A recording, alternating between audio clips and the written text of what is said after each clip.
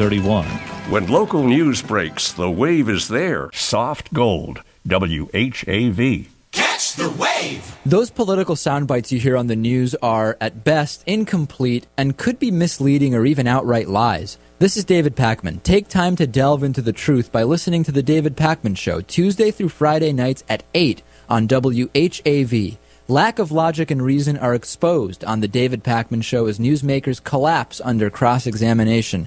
Remember, only local radio can bring you this talk opportunity, but only WHAV does. Wave weather!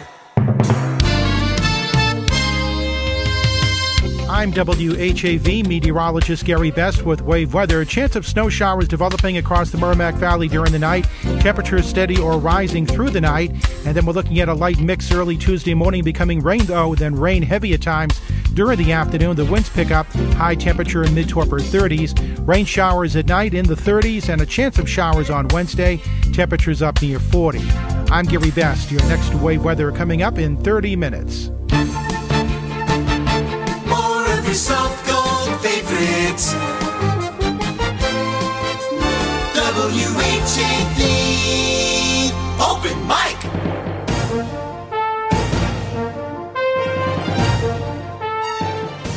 From the Edwin B. Johnson Newsroom, WHAV presents the Open Mic Show with Tim Coco. Make your voice heard. Call 978 374 1900. That's 978 374 1900. Or email tcoco at whav.net. And welcome to another edition of the Open Mic Show, a 50 year staple of democracy in the Merrimack Valley. This hour of the Open Mic Show is being brought to you by Haverhill Bank, just one bank. We do have banking news, not Haverhill Bank, uh, but TD Bank, and it's not good news. We'll talk about that in just a moment. First, let's talk about where and how to listen to the program. Of course, for the next two hours, you can watch and listen to the program at whav.tv on your computer or smartphone. You can also watch it on Haverhill Community Television, HC Media, Channel 22, uh, Comcast in Haverhill. Of course, you can listen to WHAV 24 hours a day, seven days a week at WHAV.net,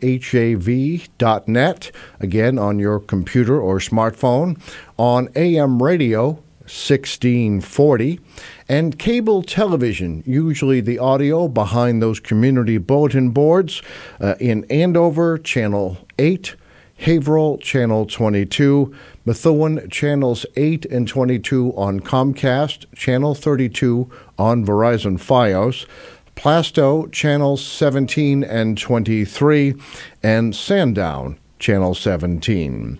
Uh, incidentally, I understand uh, we've said this before, but maybe someone can confirm that it's still true. Uh, Channel 32 out of Methuen on Verizon Fios is uh, visible or audible, as the case may be, statewide.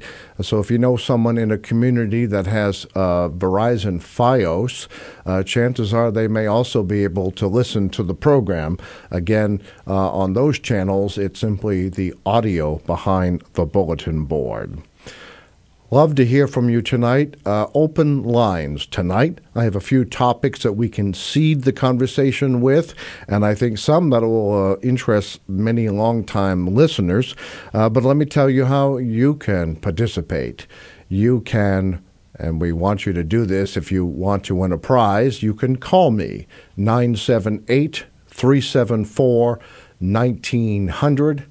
It's always on the TV screen if you're watching. If you're listening, I'll repeat it again 978 374 1900. If you're shy and you want to pass along a news tip, not just during this program, but anytime, you can write to me directly by email at tcoco, T-C-O-C-O, at whav.net. You can also participate during the program by posting a comment. Uh, go to whav.tv, and below the TV screen that's there, you'll be able to write in a comment. You can sign in with Facebook, uh, Twitter, all kinds of accounts, so there's no reason to create a new account, but you are welcome to. If you become a WHAV member, and hopefully you are a member or are contemplating it, uh, you can get a WHAV login as well. Uh, breaking news just as we went on the air with this program. And uh, it's also just been posted uh, to the website, whav.net. Uh, but TD Bank in Haverhill had a data breach, and uh, it has been uh, working with the Attorney General's office on a settlement. And it looks like TD Bank is going to pay $625,000 uh, to strengthen its security practices.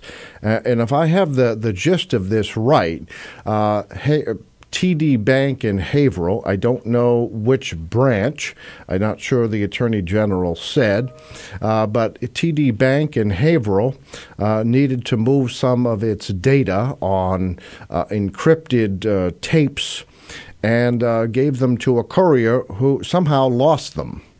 And so, up to 90,000 uh, Massachusetts customers uh, may have had their security breached. And again, this was coming out of a Haverhill branch of TD Bank.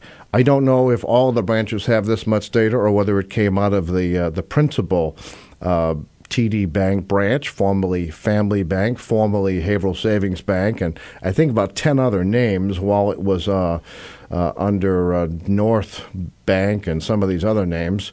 Uh, but what uh, the reason they're paying the settlement, six hundred twenty-five thousand, is because they failed to tell the attorney general. In other words, they failed to tell you that your data had been lost and could potentially be in the wrong hands.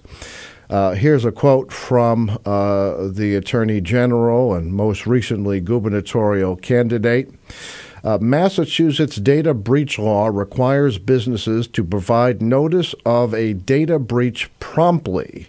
Businesses are required to secure the sensitive information that consumers entrust to them and cannot subject consumers to unnecessary risk by failing to provide prompt notice when that information is compromised or lost.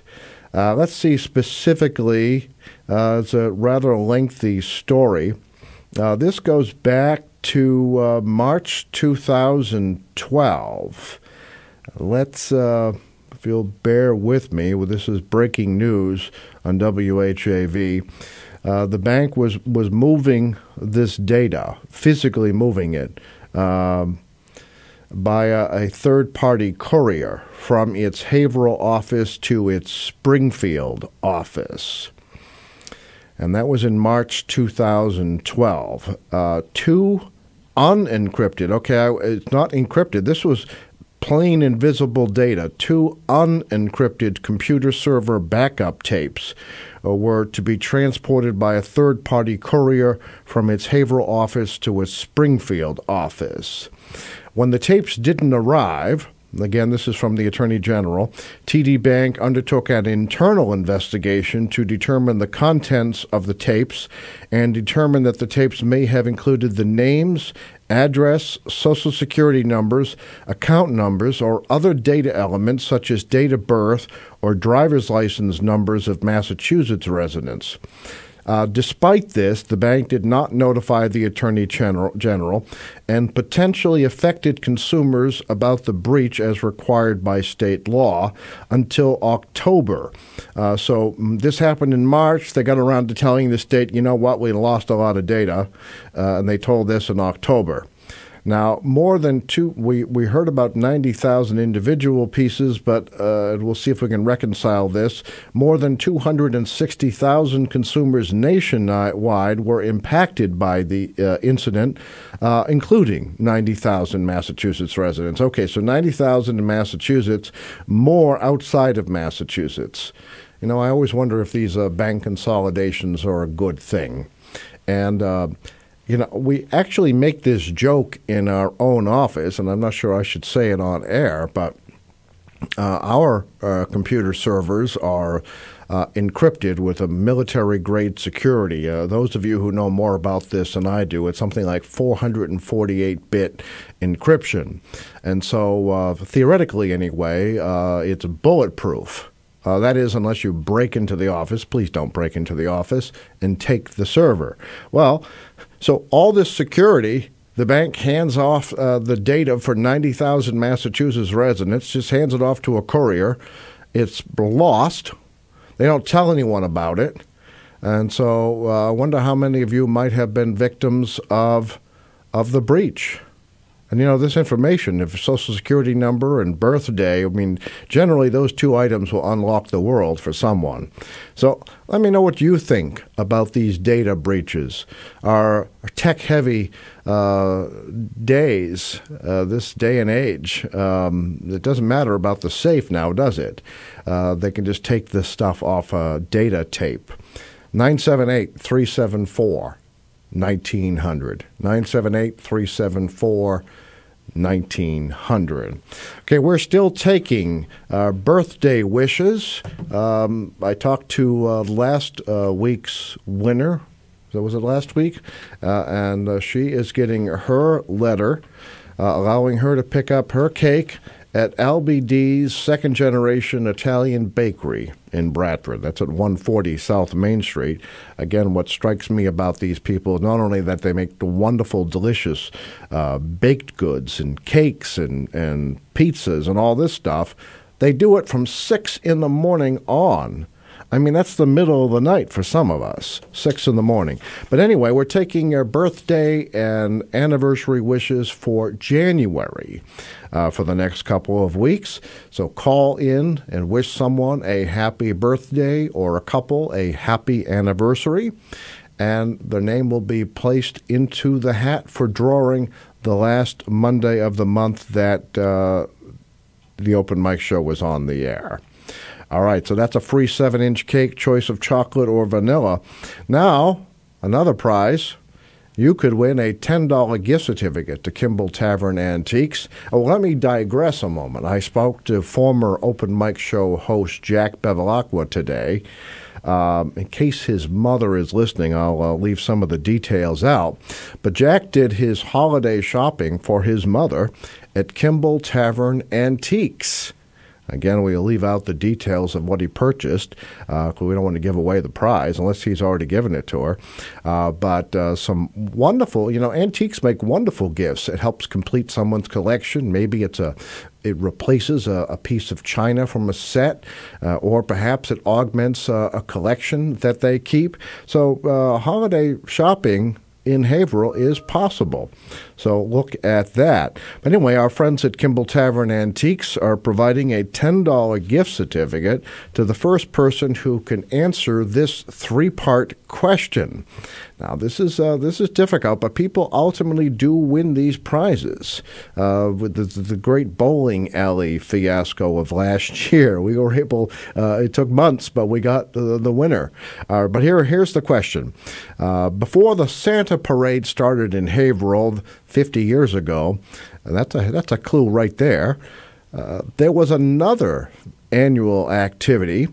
It was a Christmas party that took place where? And then when it became so big, it had to move where? And at those events, who played Santa Claus? Okay, got that, folks? Three part question. 50 years ago, there was a big Christmas party that took place every year in Haverhill. It started at one location. Which one was it? It got so big it had to move to a bigger location. Which one was it? And at those events, Someone well known in Haverhill played Santa Claus. There's a clue there. Can you name that person? First person to answer receives a $10 gift certificate to Kimball Tavern Antiques, corner of Salem and South Main Streets in Haverhill. Okay, uh, I don't know if you've uh, been to WHAV.net lately, uh, but it has become the go to source for Haverhill news. Now, there's some regional news for the communities that WHAV reaches by cable television, so you'll you'll find some Methuen items in Sandown and Plaistow and Andover. But really, uh, its biggest push is Haverhill. Haverhill was called a news desert a few years ago by Tom Stites, the founder of the Banyan Project. And uh, WHAV has stepped up. I think you could hardly call it a news desert now. Uh, but go to WHAV.net, go to the bottom of the page, and you can sign up for headlines every day, or, and or, you can sign up for the monthly Wavelengths newsletter. Now, the Wavelengths newsletter just went out to uh, members and subscribers uh, last night, and there's a an article, the third part of a series about WHAV itself, the rocky road to FM. Now, why are we doing this series? We're doing it because there is, we hope, about to be a new WHAV FM. It'll be the third station in Haverhill to use that name. And uh, I'll tell you more about that when we return from the break. We're going to have a, um, a moment in Massachusetts history, today, in fact. Uh, it'll tell you what happened on this day. We'll be back after that. Open mic! Tim Coco and the open mic will be right back. Get in on the action. Call 978 374 1900 or email tcoco at whav.net. If you are enjoying this program, please consider making a donation right now. Your donations to not for profit WHAV help keep these vital community services on the air. Donate online at www.whav.net. Stay informed each day with local news, coupled with Pacifica's worldwide coverage. Only local radio can bring you local news, but only WHAV does. Catch the wave! Hi, I'm meteorologist Gary Best. Do you need to know if it's going to be hot or cold, wet or dry? Well, find out every half hour, seven days a week with Wave Weather. I'll keep you in touch with up to the minute reports covering the greater Merrimack Valley and beyond. It's WHAV for accurate weather when you want it. Today is December 8th. On this day in 1912, over 1,000 people gathered at the Waldorf Astoria Hotel in New York to hear Boston writer Mary Antin. She had come to make a plea for more aid to support Jewish immigrant girls arriving alone in the United States. Antin had recently published The Promised Land, a childhood memoir of her emigration from Russia to Boston's South End. She believed that the strength of her story lay in the fact that it illustrated scores of unwritten lives. Attention from the book brought Mary Antin into social and professional circles that included Theodore Roosevelt and other prominent Americans. She became a vocal and energetic presence in public conversations about the most critical issues of the early 20th century, including immigration, education, and Zionism. For more about this and other Mass Moments, go online to massmoments.org, brought to you by the Massachusetts Foundation for the Humanities.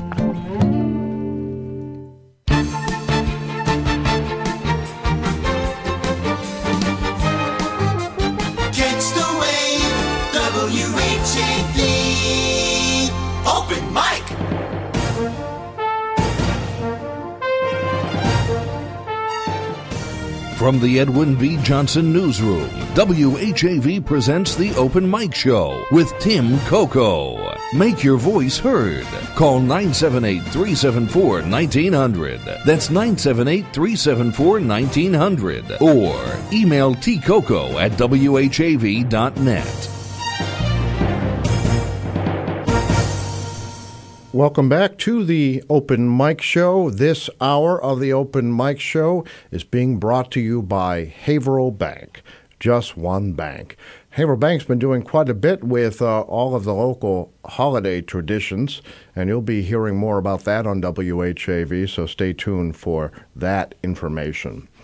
Uh, I was uh, kind of hinting at something earlier. Yes, uh, the third part of a history of FM in Haverhill went out yesterday. It's on uh, WHAV.net. It's part of the Haverhill Heritage Series and this time we uh, took the period from 1959 uh, through 1980, and it's about the second incarnation of WHAV FM.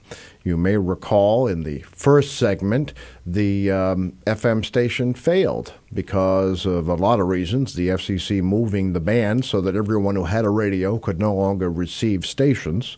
Uh, that hurt. 1959, the second owners of WHAV brought back a uh, FM station. Uh, and our story, not to give away too much, kind of concludes that was it really successful after all because uh, the call letters are gone and that station, that FM, is no longer licensed to Haverhill, no longer officially part of Haverhill. So the, the new, the third WHAV uh, is uh, under consideration by the Federal Communications Commission. Uh, to give away a little bit, we filed amendments today with the Federal Communications Commission, and so did our competitor, the um, St. Patrick's Catholic Church Educational Radio Association. And uh, the idea is to reach some agreement on our differences and perhaps allow two new stations in this area one for Haverhill, one for Lawrence. Uh, that's all we really have right now, but I understand we have a birthday wish on the phone. You are on the open mic show. You've been so busy lately. It's hard to get in to talk to you. Oh, well, I'm glad you called. You know, we do think about you often. We try to keep track of our regular listeners because they're so valuable to us and you're all kind of part of the cast as though this were like a sitcom. Uh, but we all know the little personal stories. Uh, you had a slip and fall some time ago. How are you dealing with that? Okay, now I had another fall. you had another one. See, this is how we. This is we need to get like organ music and do the soap opera. When we last left Marcel, she was on the floor of the supermarket, uh, but she's recovered from that. But what happened this time, Marcel? This was in the house. I Oh. won't go into it, but I was really lucky I didn't break anything. That's all I know. Oh, good. Well, I'm glad to hear that. Good luck. Now I've been listening faithfully, though. Oh, well, thank you. Uh, any any comments? Well, you know, my person who was a 100 years old, actually 101, won the birthday cake uh, the month before. Oh, right. And then they had a picture in the paper because she has her birthday was on voting day, and she never missed a chance to vote. Oh, okay. Good. See. Now I got another birthday here All right. Well, great. Let's hear it. This is for uh, Samuel Yanku. Samuel. Right, he's going to be 90, Samuel will be 90 on what day? January 10th. January 10th. See, Marcel knows how to do this. We're doing birthdays for January. So Samuel is going to be 90 years old. Happy birthday, Samuel. Uh, what? Where does Samuel live? Not exactly. What city? Oh, Haverhill. He lives in Haverhill. Maybe Uh, a veteran. he's a veteran. Okay, maybe he's listening.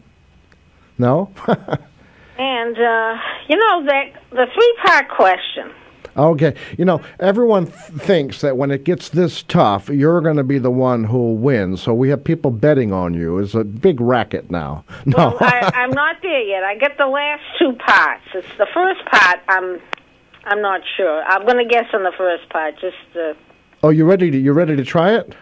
well, if I don't get the first part, I won't tell you the other two. The, the other two, I think I'm right. It's the where it began. That's the problem. Okay. So the only thought I have on where the thing began was um, there was a Fleet Street um, dog. Um, oh, the dog pound? yeah, Well, that's not the answer I have here. So you want to save those other two so you don't I give it will, away? 'cause I wa- that's the one I'm not. I'm having trouble with the very first part. All right. Now, but I'm curious now about your story. D- did the dog pound have uh, Christmas parties? Well, that's what somebody told me. Oh. But uh, That could be interesting trivia for a future Haverhill Heritage story. I hope David Goudsward is listening. all I remember about Fleet Street was the cute little animal, the uh, the little dogs there. They had a um, pet shop. oh, this was the, uh, okay, not the dog pound then. It was the um, Harmon's Pet Shop. Oh, you even know the name? Wow. Well, because you know he moved. Um, he actually was one of the businesses that moved, stayed in Haverhill after urban renewal, and he went downtown. Uh, it's that kind of uh, the Rent-A-Center is there now, and uh, my understanding uh, from uh, late mayor and attorney Jim Waldron is um, when they, he put up his new building on Merrimack Street near Haverhill Bank. Uh, the city also and housing authority was laying out the alignment for Merrimack Street. Now it didn't change by much, maybe a few inches here and there as it went up and down. But as they were changing the alignment of Merrimack Street, apparently the the map got out of whack, and uh, the pet shop property uh, could not get a clean title. So I understand that for years he had to rent the land rather than own it uh, because urban renewal uh, messed up the title. So that's all I know about Harmon.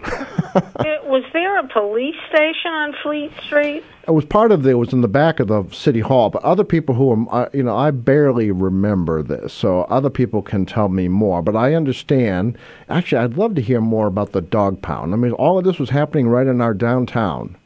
Um, so I would, I guess the uh, the new police police station isn't that far uh, from the old one in the back of City Hall.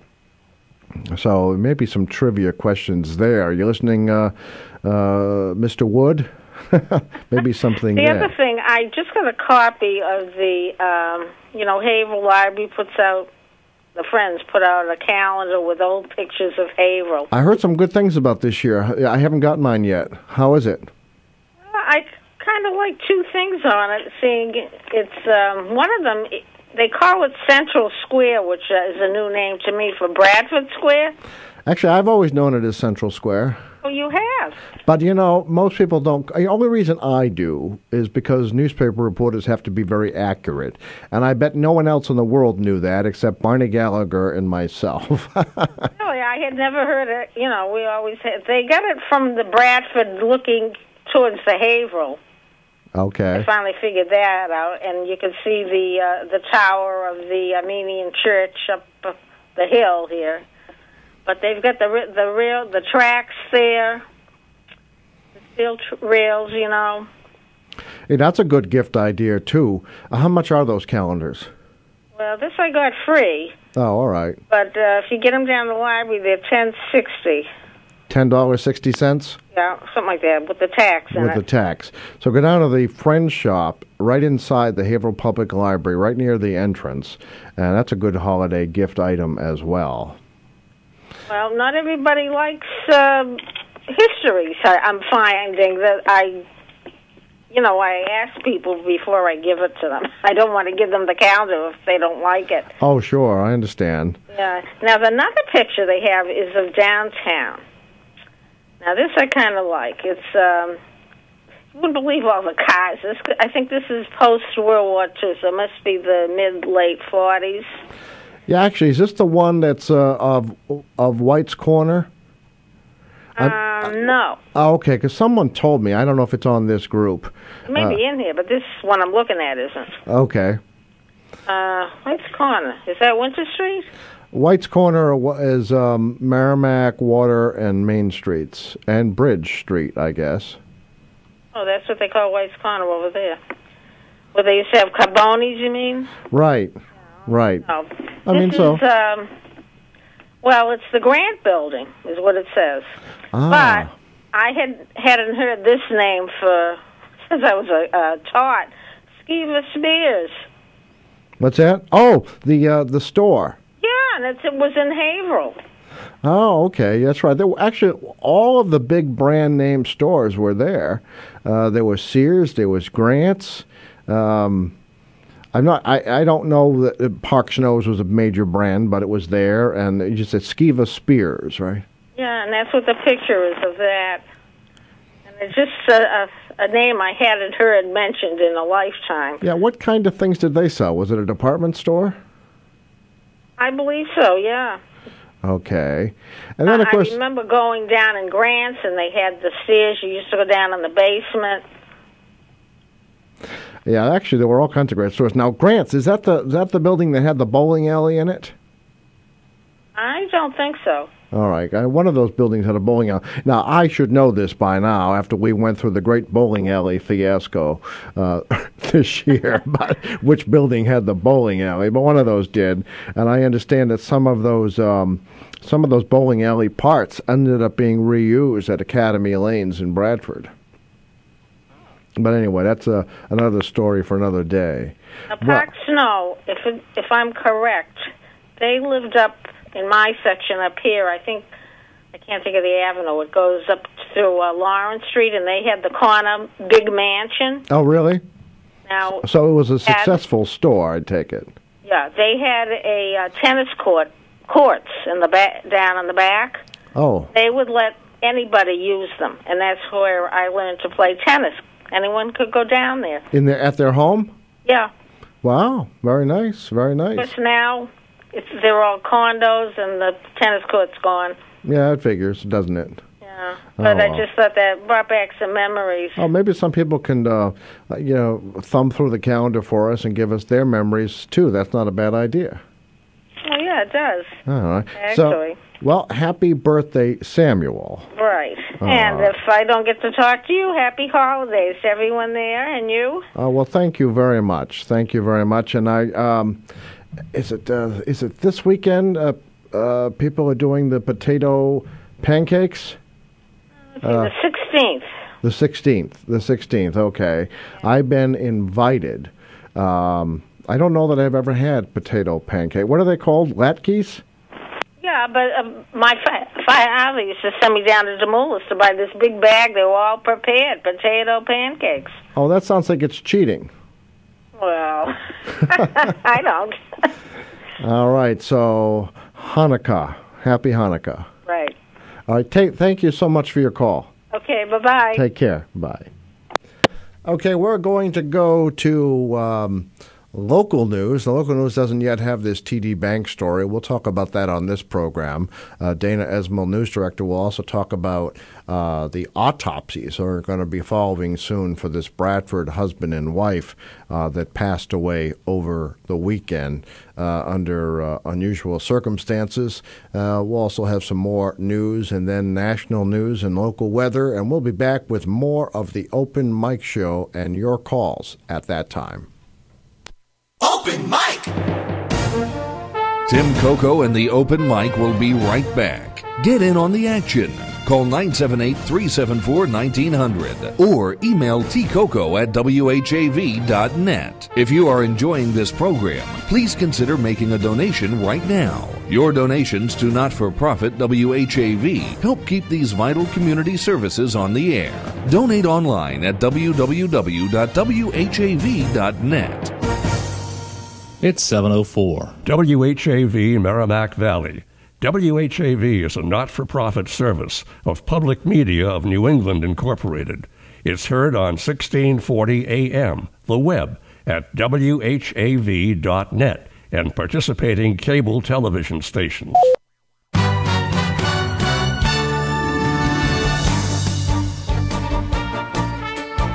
Here's what's happening in local news. The Haverhill City Council is being asked to accept a street within a housing development as a public way. On the council agenda, a petition from Russell F. Ahern, manager for developer RFA Co. LLC, is asking the city to accept Riverdale Avenue Extension as a public way. The petition is returning to the council following a favorable recommendation from the Haverhill Planning Board. That panel's approval came as a result of a hearing held last month to release an escrow for work completed at the Phillips Crossing subdivision.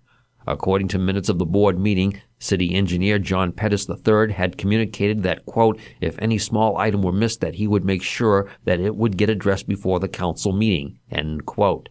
Prior to the planning board meeting, a Riverdale Avenue resident raised concerns in a letter to city officials over alleged unresolved construction issues, including an incorrect sprinkler system installation and ground settling issues, which led to ruts in a driveway and tilting front steps at her home. The Haverhill City Council meets at 7 p.m. Tuesday in council chambers at Haverhill City Hall. Autopsies are due to be performed as part of an ongoing state police investigation into the quote unattended deaths of a Haverhill couple found unresponsive in a Lamall Avenue home Saturday morning by their young children. Carrie Kimball Monahan, spokesperson for Essex District Attorney Jonathan Blodgett, told WHAV the identities of a 36 year old woman and a 39 year old man are being withheld as the deaths occurred inside their home, and at this time there is no criminal issue involved foul play is not suspected at this time, and um, the cause and manner of death would be determined by the Office of the Chief Medical Examiner in Boston, uh, who will perform an autopsy and toxicology screens as a standard procedure to determine the cause and manner of death. And Kimball Monahan said the Department of Children and Families have placed the children, ages 10 and 8, in the custody of a grandmother whom the children contacted first. As is standard practice, the Department of Children and Families is notified when, you know, children are involved in a situation like this. And uh, fortunately, the grandmother uh, was able to come to the home and meet with the the social workers from DCF, and she now has custody of the children. Again, an investigation by state police assigned to District Attorney Blodgett's office is ongoing. According to Kimball Monahan, it could take, quote, quite some time before final autopsy results are completed. In local high school sports, no scheduled matches on Monday for the Haverhill Hillies. Remember, WHAV is the only Haverhill based news source and it's always free. In the Edwin V. Johnson newsroom, this is Dana Esmail. From Feature Story News in Washington, I'm Rebecca Foster. The U.S. Defense Secretary Chuck Hagel says the U.S. will not be reviewing its operations to free American hostages despite the failure of recent missions.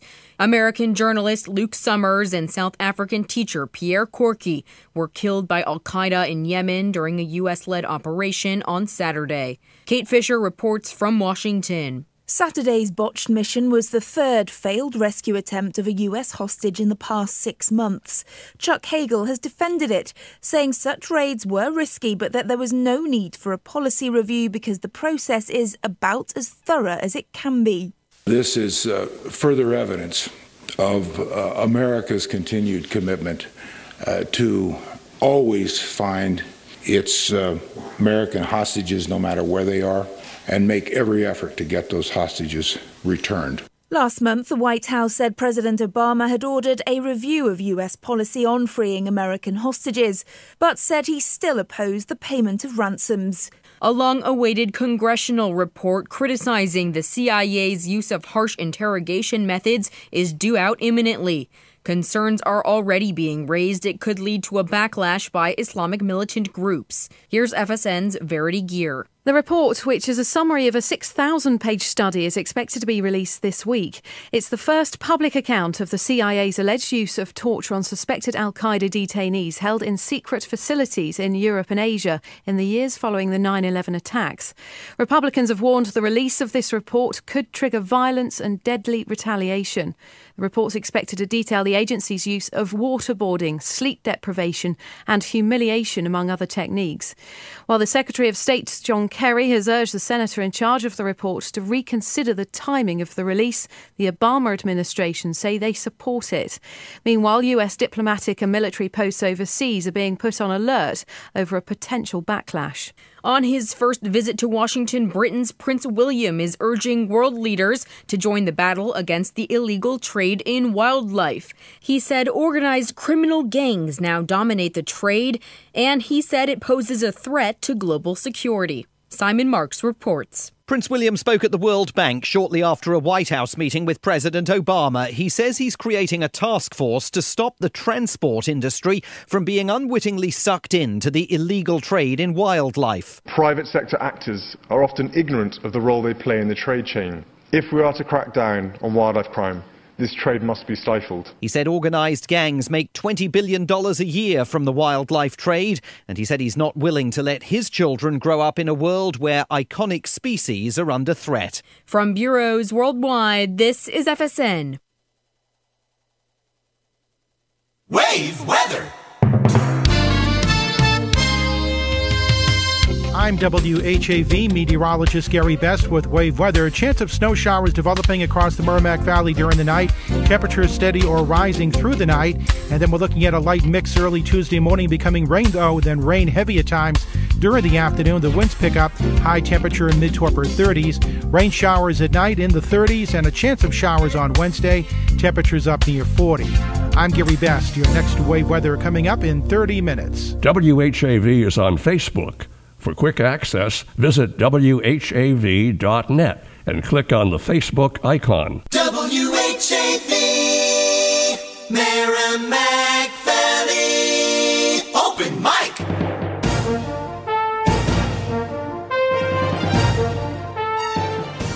From the Edwin V. Johnson Newsroom, WHAV presents the Open Mic Show with Tim Coco. Make your voice heard. Call 978 374 1900. That's 978 374 1900. Or email tcoco at whav.net.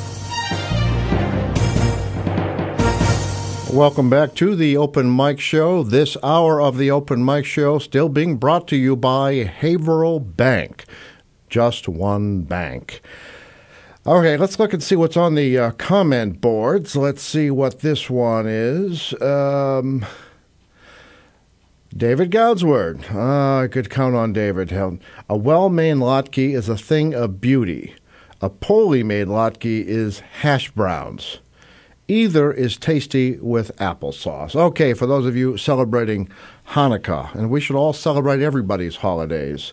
Uh, although, in the scope of things, Hanukkah is not a giant event like uh, Christmas is. Uh, there are bigger events in the Jewish calendar. Uh, the coincidence of timing makes us celebrate them this way. I'm sure uh, Marcel will attest and others. Uh, but David Goudsward makes a good point. A well made latke, and I hope I'm saying that right, is a thing of beauty. A poorly made one is simply hash browns.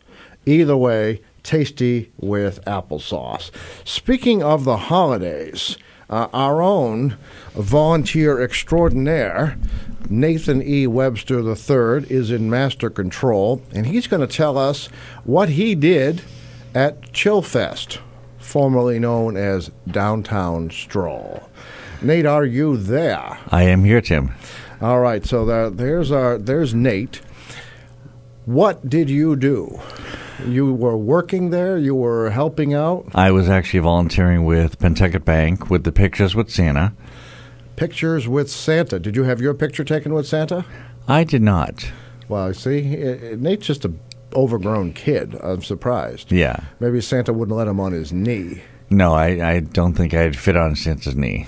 All right. So uh, Pentucket Bank had a photos with Santa. What time did that start? Uh, that was uh, two o'clock and went to five o'clock. Two to five on Saturday. hmm All right. Did you have a chance to uh, voyage out to see any more of um, Chillfest? I didn't. I worked there the whole time, so Worked there the whole time. Yep. Okay, maybe others have um, observations.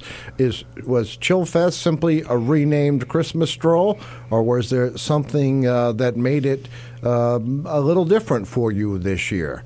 Uh, the Christmas Stroll Chillfest downtown, sponsored by the Greater Haverhill Chamber of Commerce.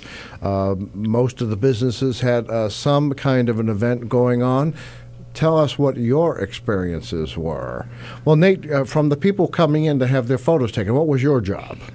uh, gift bags. You were handing out gift bags. Right. Each gift bag had a coloring book and crayons, um, a book with uh, qu- the little spaces for quarters, and then uh, a toy. Oh, you mean like those uh, collector's candy. quarters? Um, yeah, kind of like to teach kids how to uh, save up their money and stuff, and how to put the quarters in little slots and things and Okay, stuff. kids. Here's here's uh, here's my advice on that. Put all the quarters in the book and then bring them to WHAV. We need your contributions. Yeah, exactly. We have a jar waiting at the front desk. okay. Um, so my job was gift bags, and then I helped with, with balloons a little bit too.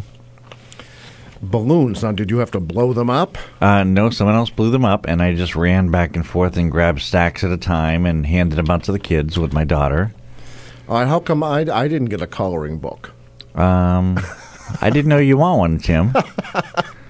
Well, you know, during the long breaks uh, during the show, but that's okay. And we have a lot had a lot of chocolate Santas to give out, and uh, those are Santas? those are very popular, very popular. Yeah, those of us who are now having to watch their sugar intake, um, I probably would have risked it for a chocolate Santa, but that's you know that's life. Yeah, so they had uh, they had some candy and toys in the gift bags as well as the little book, and gave out balloons. Pictures with Santa went very well. Uh, we did not have the crowds that we usually have. I'll tell you that much, and I Okay, think it's so- because of the rain. Oh, okay. You think the rain kept people away, not the name change? I think the rain and the fact that they moved the pictures from where the bank used to be, where they used to be at the bank in the community room, Oh, okay. down to the other end of Washington Street where it was like next to the tap, and it was like, you know, I don't think half the people knew it was there. I honestly don't. And plus, the rain, I think, drove drove away a lot of people too. Okay, so Merrimack Street really wasn't a participant. Everything moved to Washington. Everything was went down on Washington Street, and I think that was geared towards like, you know,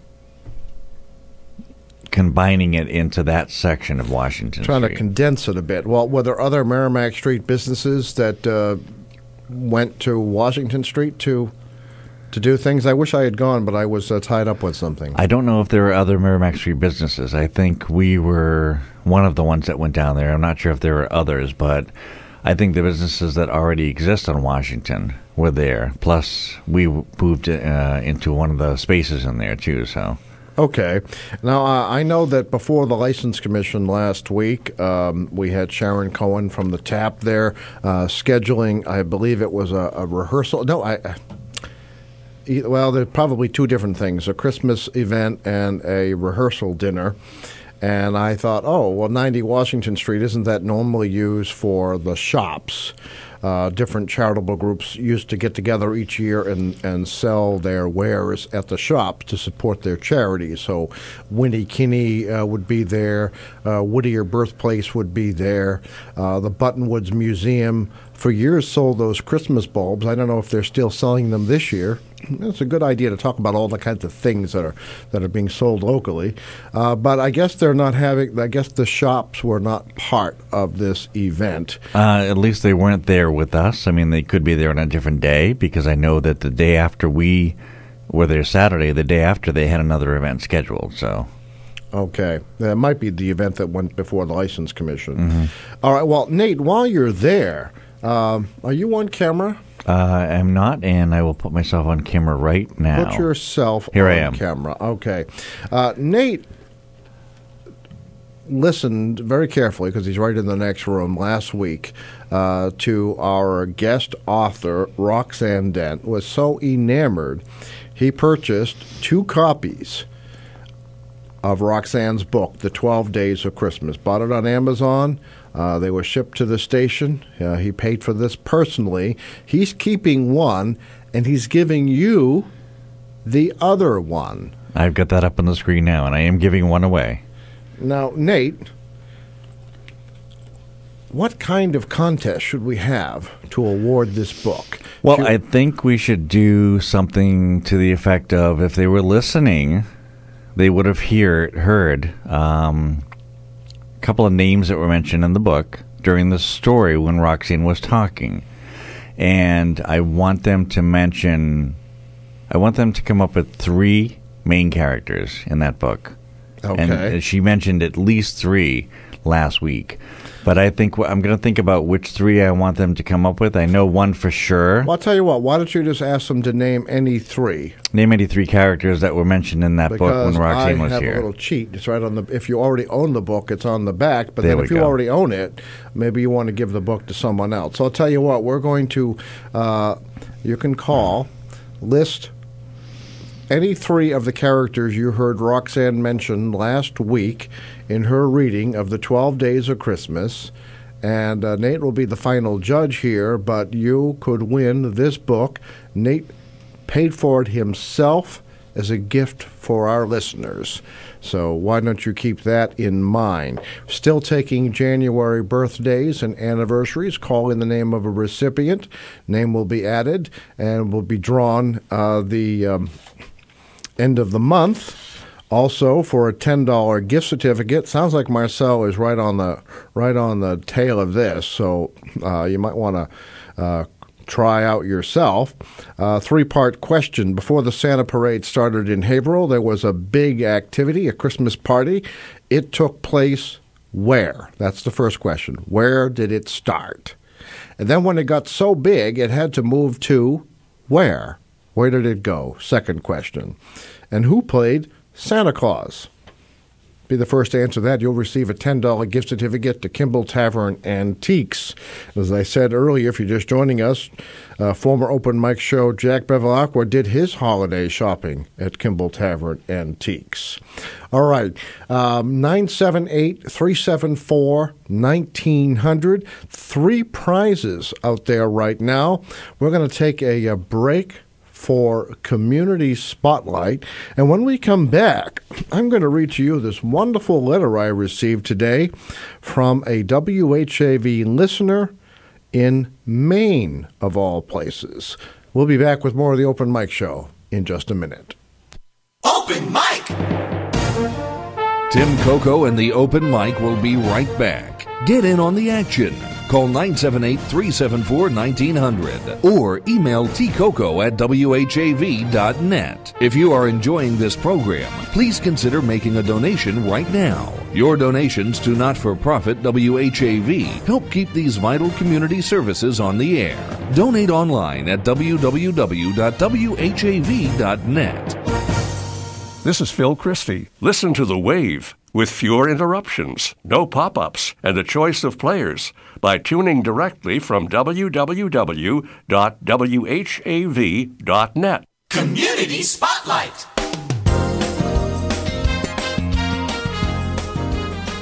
The Haverhill Historical Society is having its 13th annual Festival of Trees. The event runs from November 29th to December 14th. Local businesses and individuals may donate a tree or a wreath and decorations to be raffled off during the event. Proceeds go to the Buttonwood Museum. The event includes a family day with crafts, a visit from Santa, senior day, and various performances. For more information on this event, call 978 374 4626. Someone you know is on WHAV. To submit or read your own nonprofit announcements, click on the contact tab at WHAV.net or email news at WHAV.net. In the Edwin V. Johnson Newsroom, this is Martha Melendez.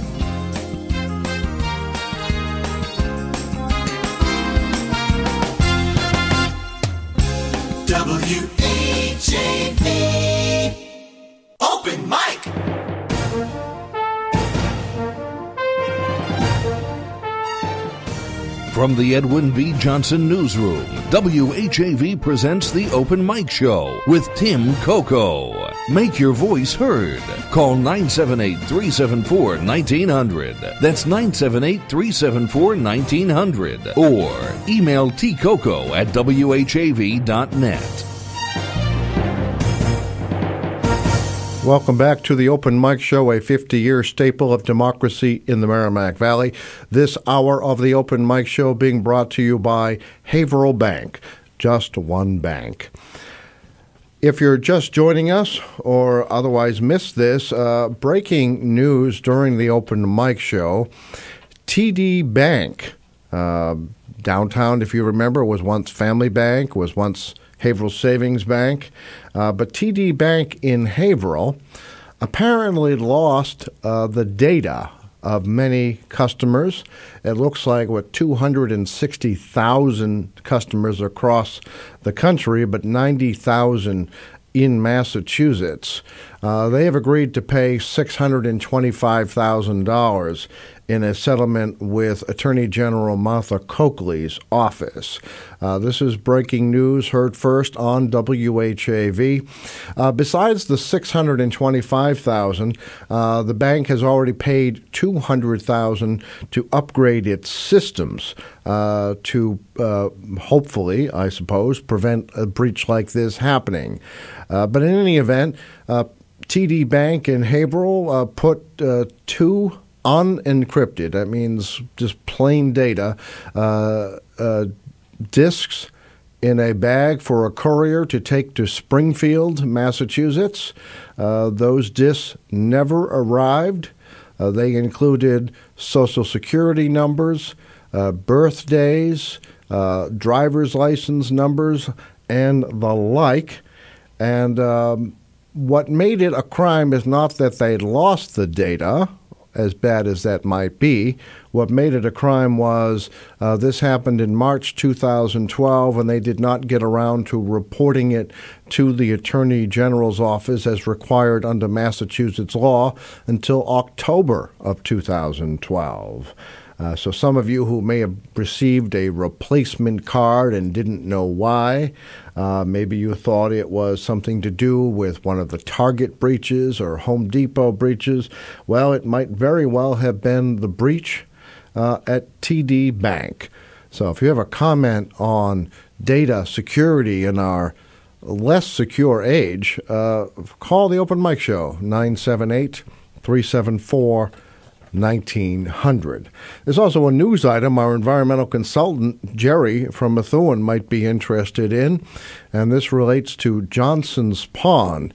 It's uh, one of Haverhill's backup water supplies, but physically located uh, mostly in Groveland. Uh, story on WHAV today.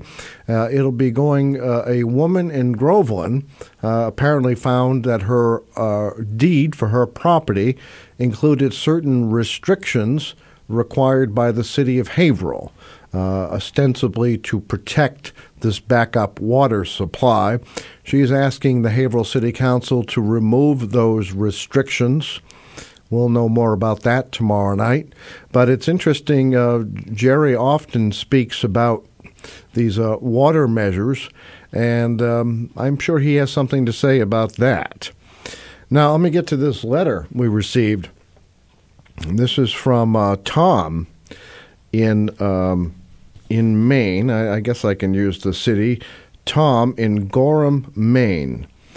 Uh, he uh, wrote today, I can't begin to tell you how much I enjoy listening to your radio station when I'm in the area. Would you happen to have a bumper sticker from your station that you could send me? I'd definitely appreciate it and would be very proud to display it. Thank you very, very much, Tom, radio listener and enthusiast.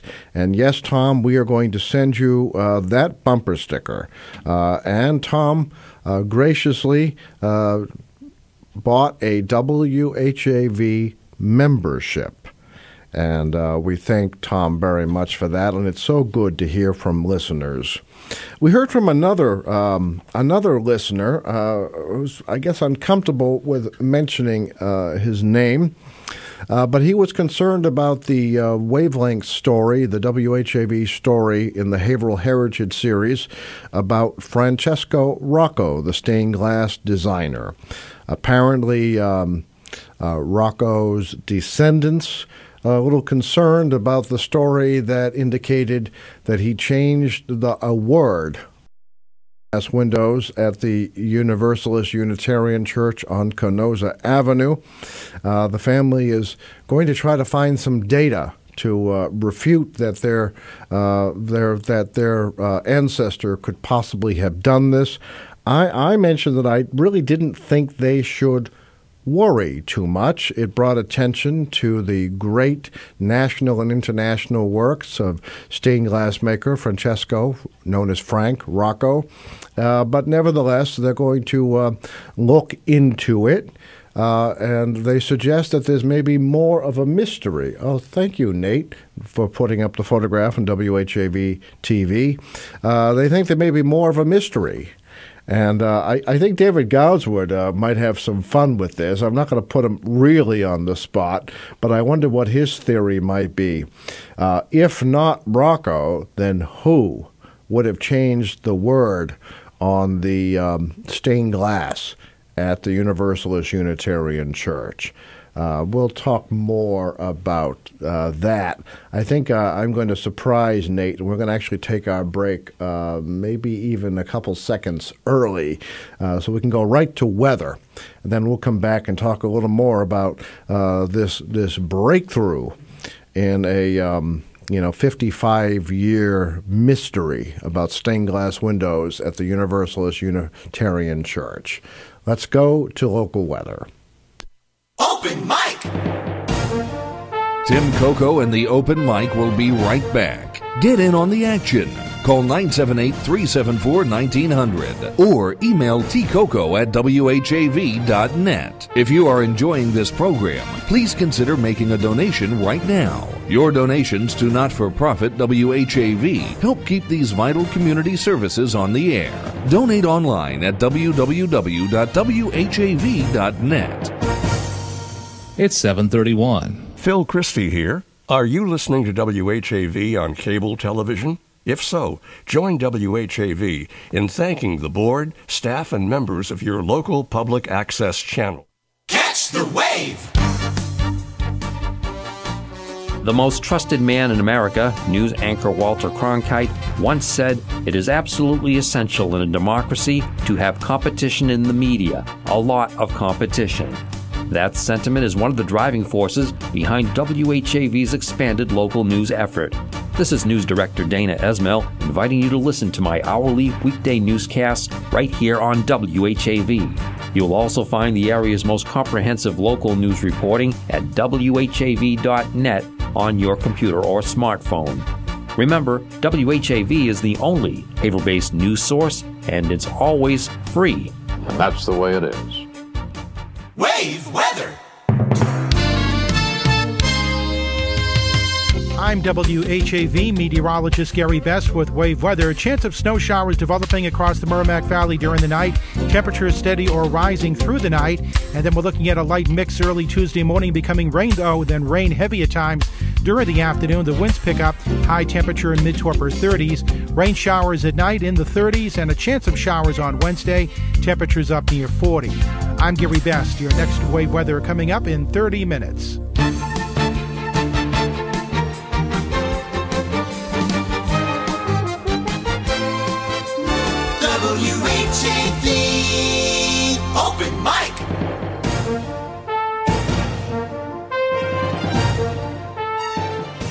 From the Edwin V. Johnson Newsroom, WHAV presents the Open Mike Show with Tim Coco. Make your voice heard.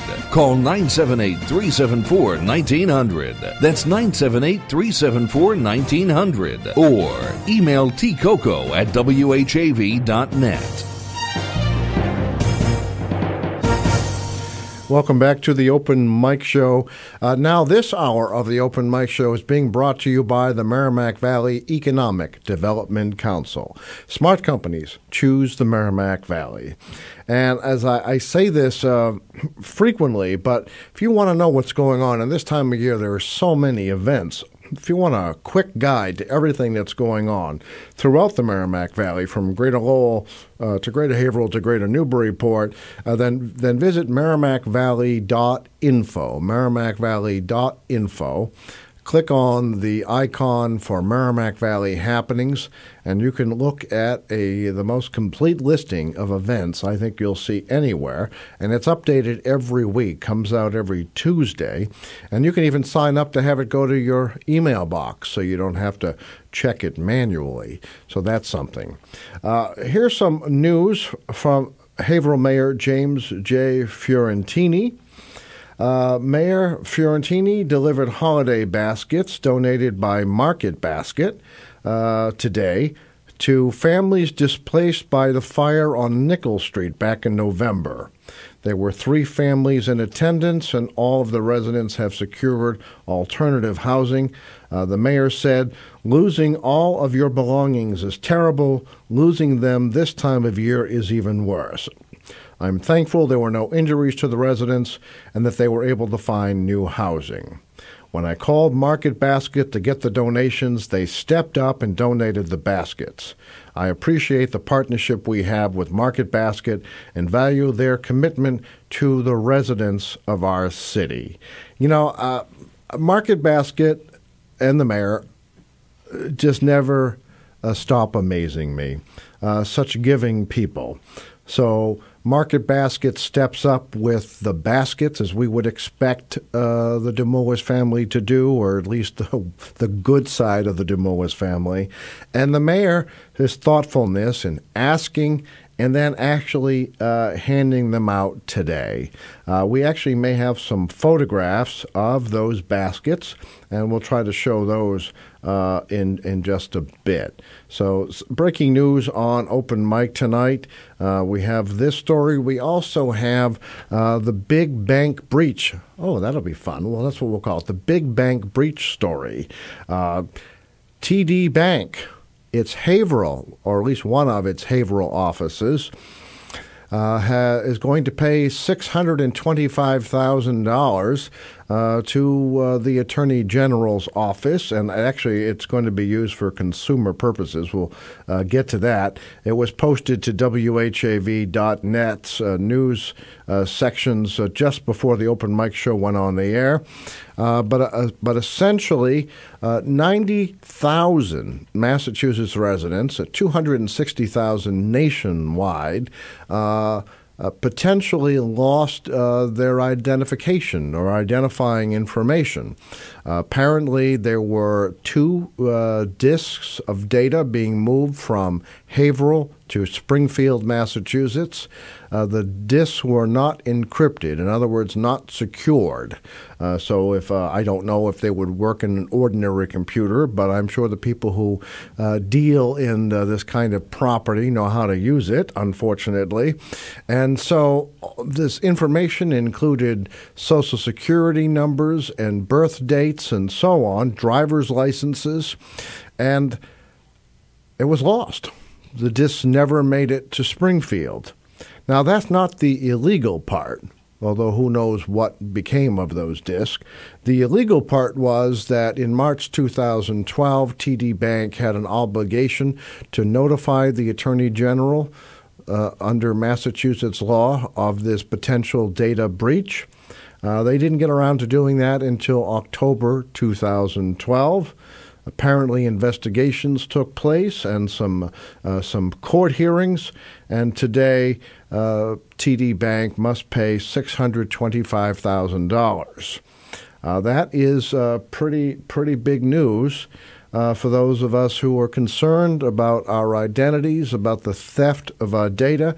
You know, I, I wonder if George Orwell were still alive, uh, whether he might have renamed his book 1984 and renamed it 2014, uh, because almost everything he's worried about um, surveillance cameras, uh, listening to our telephone conversations everything that is electronic seems to be putting us at risk of our privacy. Maybe you have a thought about that. I know a few years ago when um, there was talk about putting cameras uh, at the rest area on Route 110 uh, on the Haverhill Methuen line, uh, one of our listeners, I think it was Brian, said it wouldn't bother him if the cameras were there. Uh, I asked listeners what they thought, and I guess most people aren't too worried about being watched. Um, but your private financial data, I guess that is uh, something else again. Call 978 374 1900. Have your voice be heard right here on the Open Mike Show. Let's just see if there's any other uh, comments. I don't see any just yet. Let's go back to our prizes. We're taking birthday wishes and anniversary wishes for January. We're taking them now.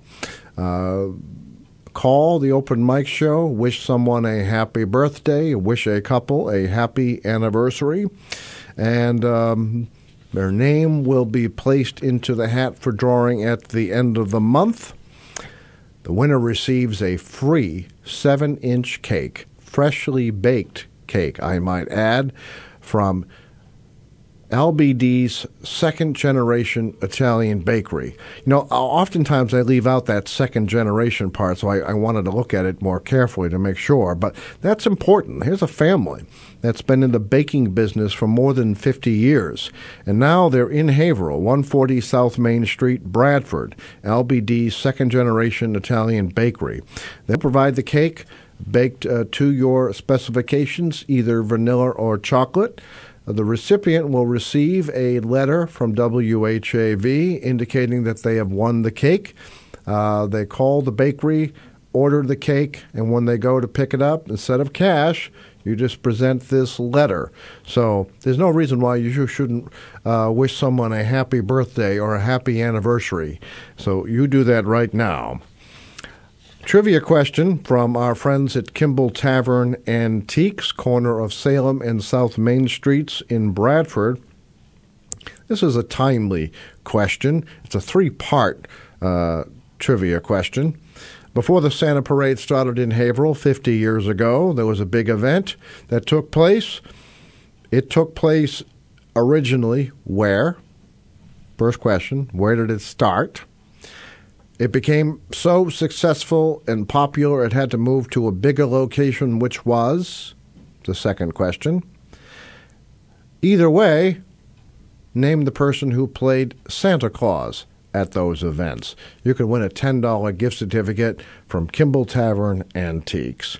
And Nathan E. Webster III, Open Mike Show producer, um, I don't know why they say these things about him, but he reached into his own pocket and he bought two copies of Roxanne Dent's book, The 12 Days of Christmas. If you were watching or listening last week, Roxanne Dent read from the book.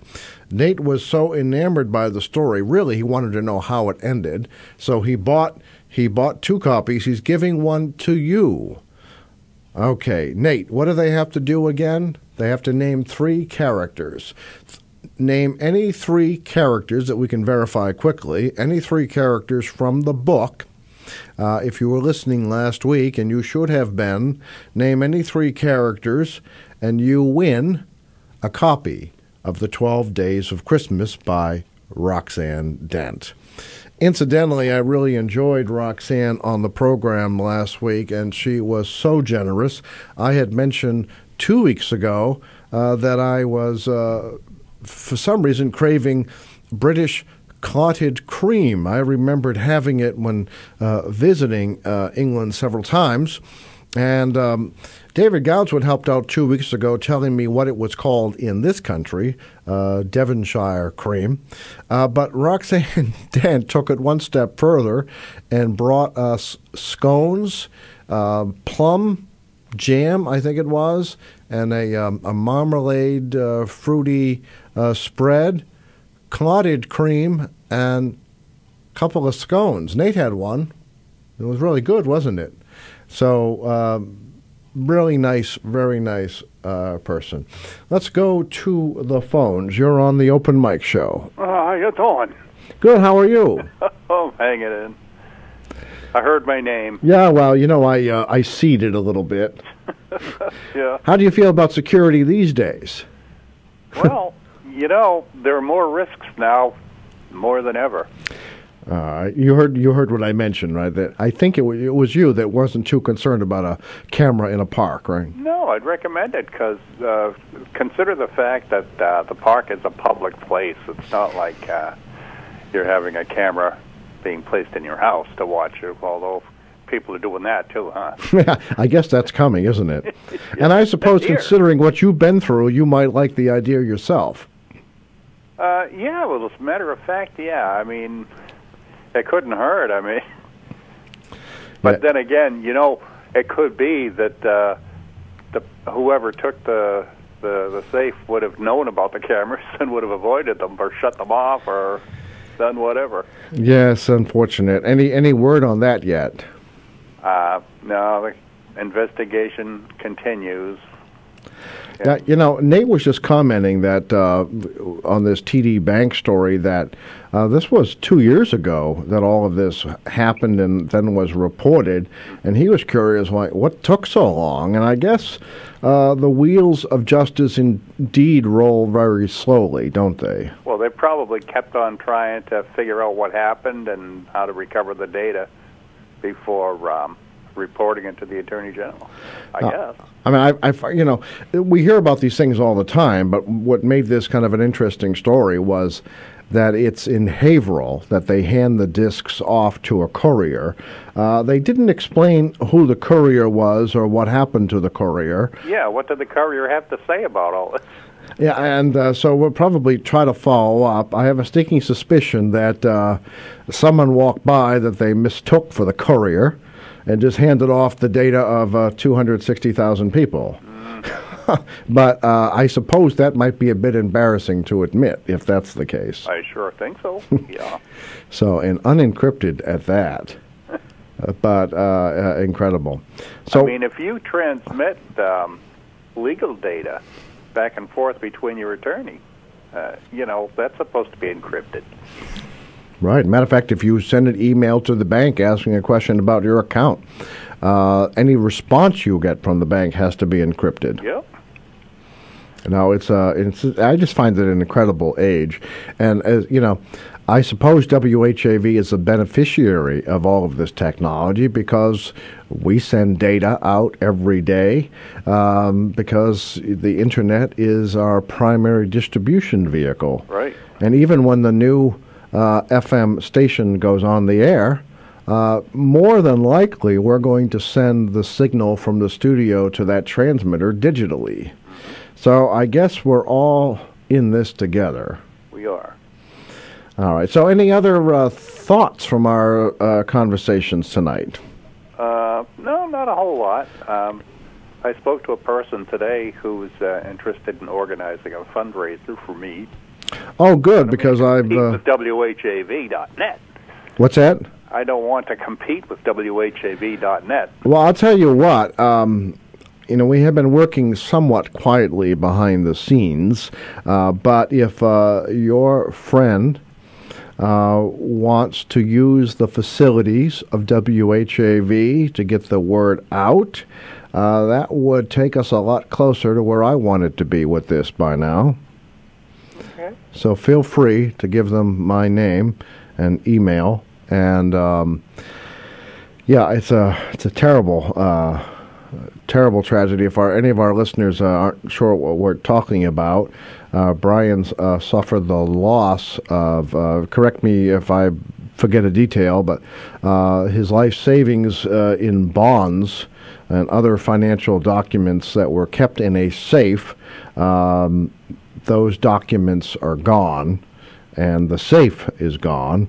And Haverhill Police was it Benedetti, Detective Benedetti, looking into this? He's working on the case. Yep. and um, so there's um, you know there there may well be a breakthrough, but um, you know that doesn't help Brian right now. No. No, No, but it's a triple loss. I lost my wife, my life savings, and uh, and what? Oh, one more, which was one of the um, the people who uh, still needs to be questioned is away and hard to find. Just dropped out of sight. Yeah, you know this has been an incredible year, and um, you know it's not often that we have the opportunity to to speak to the people who are in the news. So I, I, I don't want it to sound at all callous that um, you know we've been following uh, Brian for quite some time, uh, mostly because he calls this show, but um, you know his uh, boyhood home was torn down and and um, that almost cost him um, money because the the city uh, condemned it while it was under agreement to be sold, and if the if the house hadn't ultimately been sold, Brian would have been on the hook for the demolition costs, and as Brian I think correctly pointed out, you know some shrubbery and paint, uh, the city probably never would have looked at that house. Um, then that's that's one. And then uh, his wife, who suffered for many years uh, multiple sclerosis. Is that right, Brian? Yep. And she was also blind. Is that right? She was blind since birth. Yep. Bl- Blind since birth. And I, you know, I, I guess I don't, I don't know. I'm told that you have not been blind all your life, but you were blind now. Is that right? That's true. Yep. All right. So um, you had sight.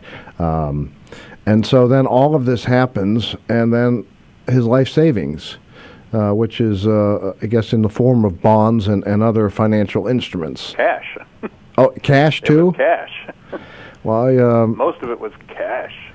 I, I, um, I don't want to put you on the spot, but maybe there's a, a lesson there. Uh, maybe. Well, there is, and the thing is, the only reason that I kept a bunch of cash there was uh, if it were to show up in an account someplace that um, my wife wouldn't be eligible for certain services. Oh, I understand now. Actually, now I understand perfectly. And I remember the banker saying, you know, if something happens to this, it's not insured, you know. And I said, I understand that, but blah blah blah blah, you know. You know, that's I never thought in my wildest nightmares that uh, anything like this would happen.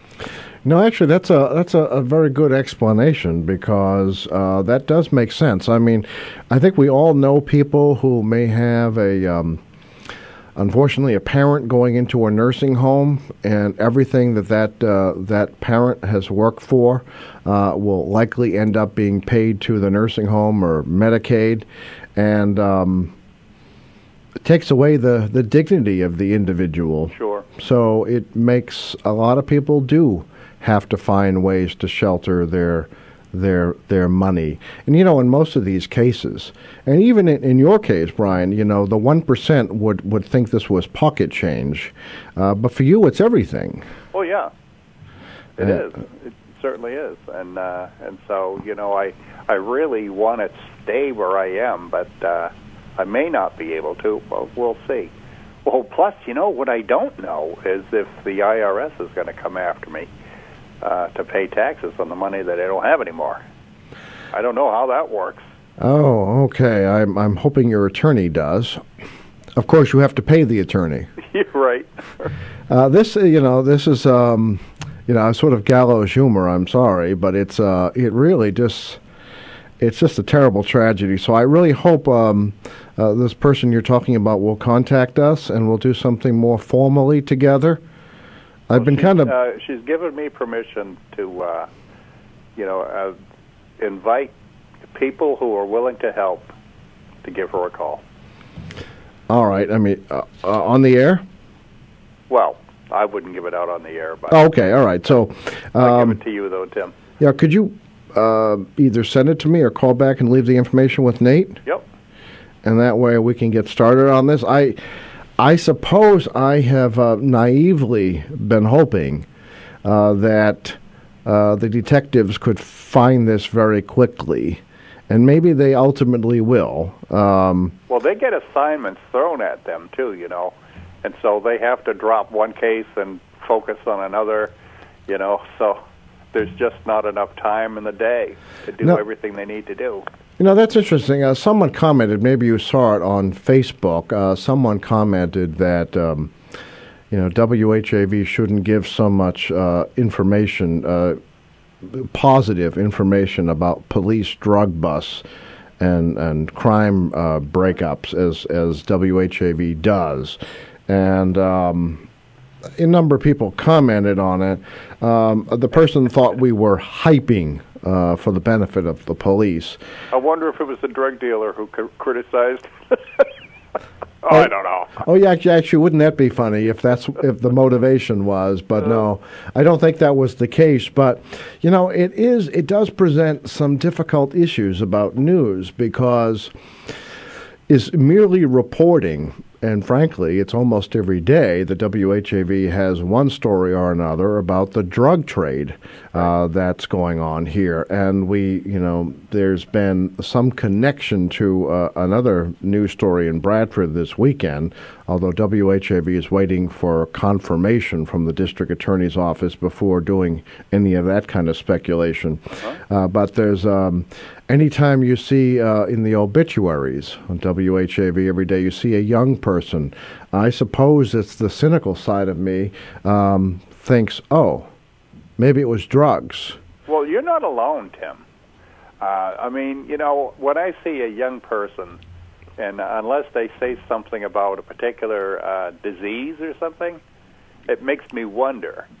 And frankly, well, drugs, yeah, I suppose, because I think in terms of suicide when I look at something like that. And you don't too often see that in an obituary, so and so took his own life. I mean, on rare occasions you will, but. Yeah, yeah, that. Um, yeah, I, I, I have to say, uh, one family actually put in the um, the death notice uh, that it was their uh, son's struggle with addiction. Yeah.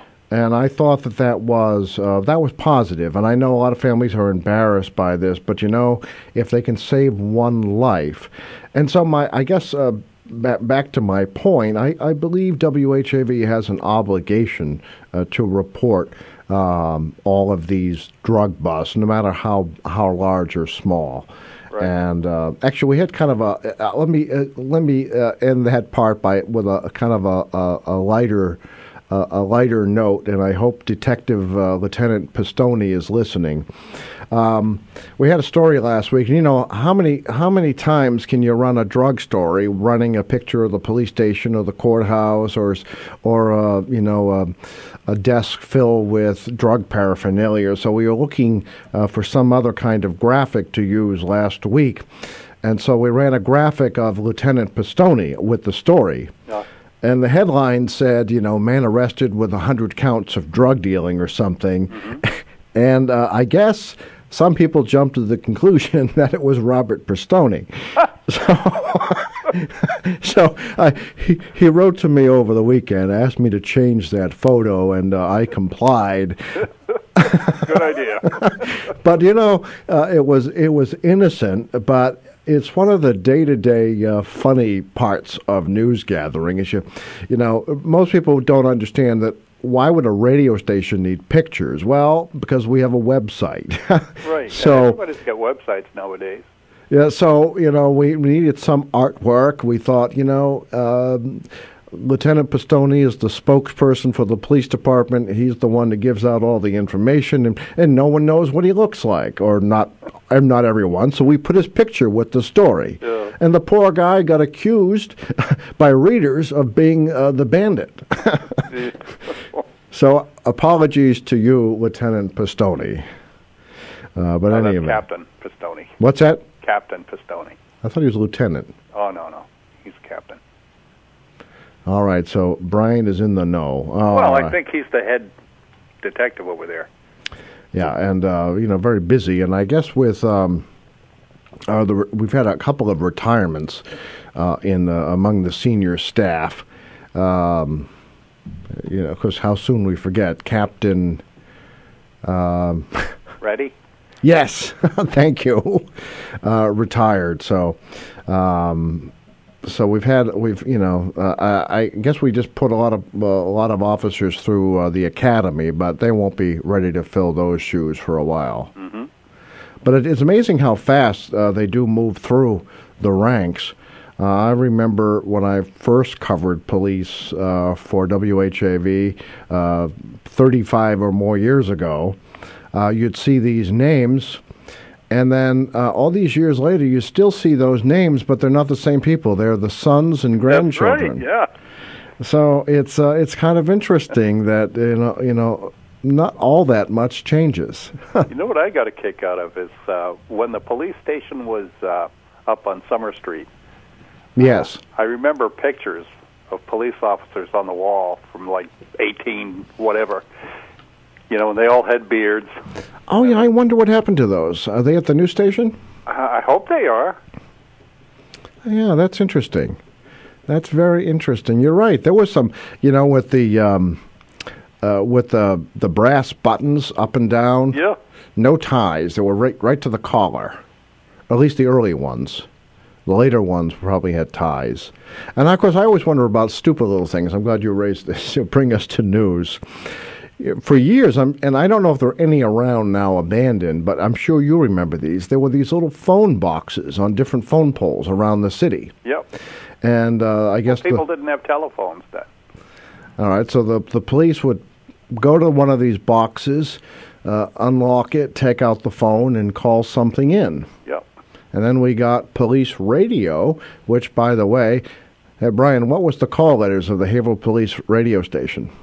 Um, KBC, I don't know. Well, that was the later one. But the original call letters of the Haverhill Police Department was Here W- comes the trivia question. WHAV. Is that right? Because in 1946, when the Gazette was preparing to put its radio station on the air, WHAV, they couldn't get those call letters because the police had them. And the, back then, the same you know, four-letter calls were used. So uh, the Haverhill Gazette got another one called uh, WHGF, Haverhill Gazette frequency. Who knows? Oh, Um, but the police chief Lynch agreed to trade. he did. So that's how we got our WHAV. Don't you just love this? I love that. Yeah. this well, stuff- see, and I can't remember back past uh, Chief Ross. So Oh yeah, yeah, yeah. Uh, but I do know what you mean about those um, KCF whatever numbers. I don't even know if they use those anymore. no, probably not. I think they're scrambling the police frequencies now. I'm not. Well, I believe they are because I remember you know listening to them on scanners and such like that, and uh, and it was kind of interesting. And and I happened to be present uh, one time when uh, there was a police officer who reported uh, at an accident where uh, a bunch of teenage boys were killed, it was at the uh, intersection of 110 and 108, you know, Newton Road Okay. and uh, all the uh, the kids in the car were dead, and I could just hear the shakiness in the uh, officer's voice as he called it in. Yeah, you know that is, uh, and I can understand why in some cases that they don't want to put that out over the air. I believe Haverhill Fire still uses open frequencies, uh, from what our news department uh, can gather. Uh-huh. Um, I just hope there's no abuse of these um, of these um, scrambled waves to keep news from reaching people. Oh, right. You know, I had. Well, uh, they don't want interference from the public, you know.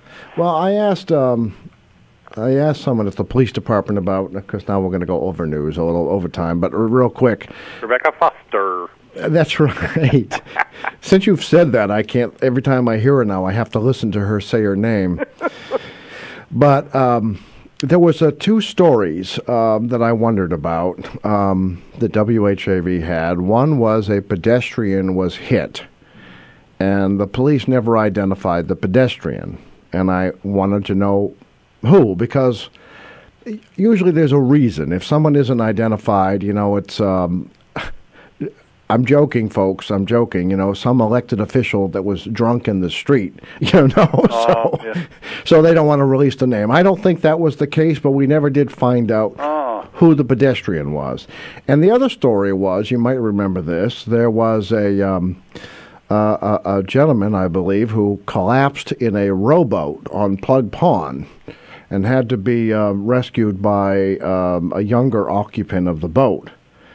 And well, in the old days, we would have told you who that was. Right. And we would have been told who it was. Well, m- we never got that information. And I, so I, I worry that if we're not getting some of the simpler ones, and again, in my mind, uh, the, the, the person who um, fell over in the boat, this is probably not true, but you your mind runs wild. Okay, so which city councilor had too much to drink while boating? you know?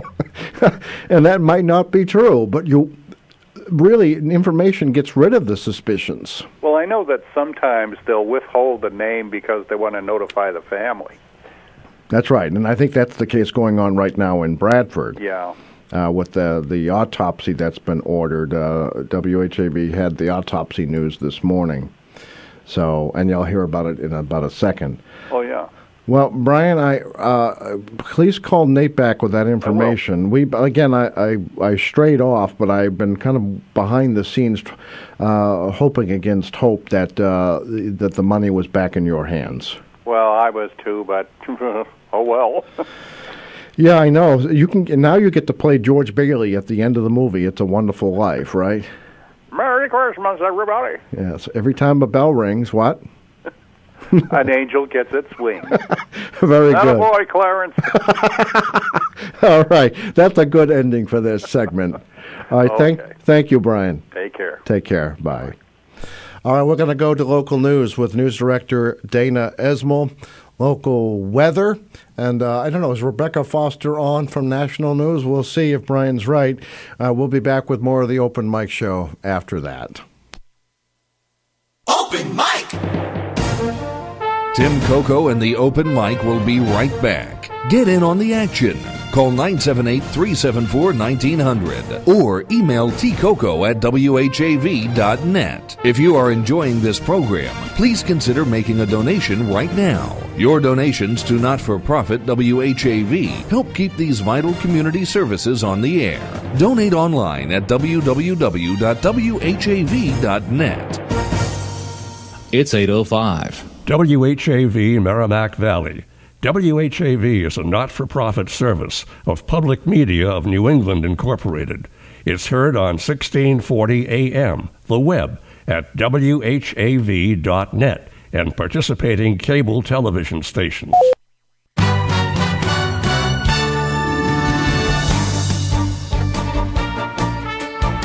Here's what's happening in local news. Autopsies are due to be performed as part of an ongoing state police investigation into the quote unattended deaths of a Haverhill couple found unresponsive in a Lamal Avenue home Saturday morning by their young children. Carrie Kimball Monahan, spokesperson for Essex District Attorney Jonathan Blodgett, told WHAV the identities of a 36 year old woman and a 39 year old man are being withheld as the deaths occurred inside their home, and at this time, there is no criminal issue involved. Foul play is not suspected at this time, and um, the cause and manner of death would be determined by the Office of the Chief Medical Examiner in Boston, uh, who will perform an autopsy and toxicology screens as a standard procedure to determine the cause and manner of death. And Kimball Monahan said the Department of Children and Families have placed the children, ages 10 and 8, in the custody of a grandmother whom the children contacted first. As is standard practice, the Department of Children and Families is notified when, you know, children are involved in a situation like this.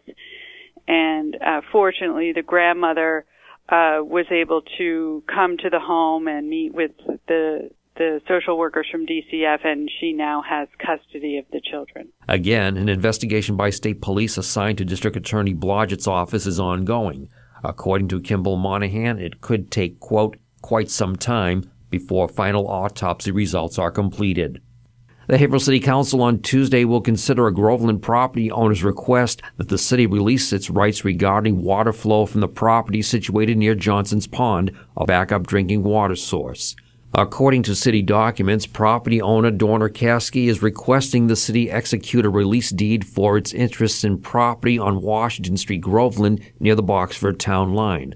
The proposed action would change language of a property deed which allows the city to regulate, quote, flowage or any other obligations to observe the rules and regulations of the water department of the city of Haverhill, end quote. A letter to the City Council from Deputy Haverhill Public Works Director Robert E. Ward, Water Division Superintendent, makes no objection to the non-monetary consideration. The Haverhill City Council meets at 7 p.m. Tuesday in Council Chambers at Haverhill City Hall. A Fitchburg man is accused of shoplifting Saturday evening from a store at the Westgate Shopping Plaza, 400 Lowell Avenue, Haverhill. Police report 39 year old Matthew Moore of Fitchburg was arrested shortly before 6 p.m. Saturday on a charge of shoplifting by concealment. He is due to be arraigned in Haverhill District Court. In local high school sports, no scheduled matches on Monday for the Haverhill Hillies. Remember, WHAV is the only Haverhill based news source and it's always free. In the Edwin V. Johnson newsroom, this is Dana Esmel. From Feature Story News in Washington, I'm Rebecca Foster. The U.S. Defense Secretary Chuck Hagel says the U.S. will not be reviewing its operations to free American hostages despite the failure of recent missions. American journalist Luke Somers and South African teacher Pierre Korkie were killed by Al Qaeda in Yemen during a U.S. led operation on Saturday. Kate Fisher reports from Washington. Saturday's botched mission was the third failed rescue attempt of a US hostage in the past six months. Chuck Hagel has defended it, saying such raids were risky but that there was no need for a policy review because the process is about as thorough as it can be. This is uh, further evidence of uh, America's continued commitment uh, to always find its uh, American hostages, no matter where they are and make every effort to get those hostages returned. Last month, the White House said President Obama had ordered a review of U.S. policy on freeing American hostages, but said he still opposed the payment of ransoms. A long awaited congressional report criticizing the CIA's use of harsh interrogation methods is due out imminently. Concerns are already being raised it could lead to a backlash by Islamic militant groups. Here's FSN's Verity Geer. The report, which is a summary of a 6,000 page study, is expected to be released this week. It's the first public account of the CIA's alleged use of torture on suspected Al Qaeda detainees held in secret facilities in Europe and Asia in the years following the 9 11 attacks. Republicans have warned the release of this report could trigger violence and deadly retaliation. The report's expected to detail the agency's use of waterboarding, sleep deprivation, and humiliation, among other techniques. While the Secretary of State, John Kerry, has urged the senator in charge of the report to reconsider the timing of the release, the Obama administration say they support it. Meanwhile, US diplomatic and military posts overseas are being put on alert over a potential backlash.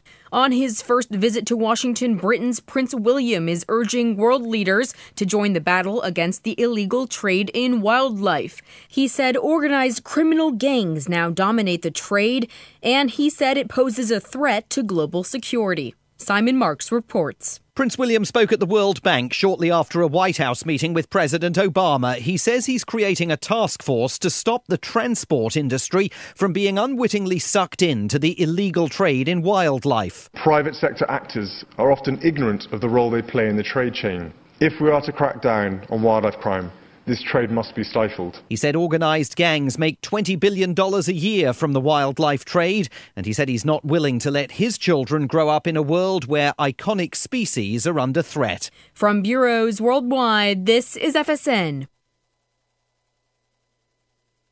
Wave weather. I'm WHAV meteorologist Gary Best with wave weather. Chance of snow showers developing across the Merrimack Valley during the night. Temperatures steady or rising through the night. And then we're looking at a light mix early Tuesday morning, becoming rain though, then rain heavy at times during the afternoon. The winds pick up, high temperature in mid to upper 30s. Rain showers at night in the 30s, and a chance of showers on Wednesday. Temperatures up near 40. I'm Gary Best. Your next wave weather coming up in 30 minutes. Phil Christie here. Last year, WHAV helped local nonprofits by airing 8,780 community spotlight messages. Only local radio can bring you this level of public service, but only WHAV does.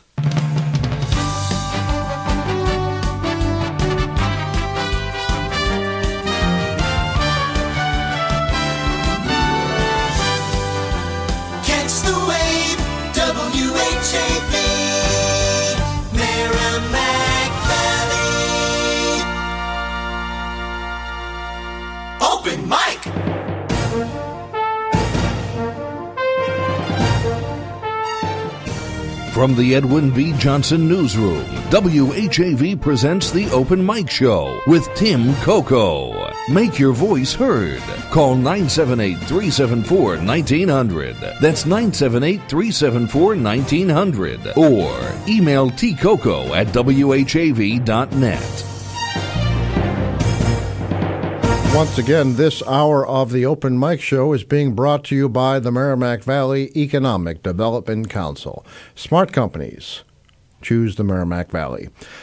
Go to merrimackvalley.info to learn more about the Merrimack Valley Economic Development Council. And while you're there, click on the Merrimack Valley Happenings button, and you'll be able to look at the most complete list of events happening around this time. Actually, uh, the list is updated every week, every Tuesday, so you'll see uh, throughout the year uh, things you can do, where to get tickets, many free events, exhibits, tours and the like. So that might be something interesting for you.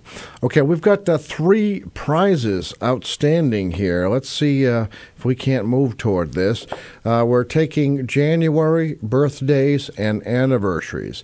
Very simple. Call the open mic show 978 374 1900. Wish someone a happy birthday who's having a birthday in January, or wish a couple a happy anniversary.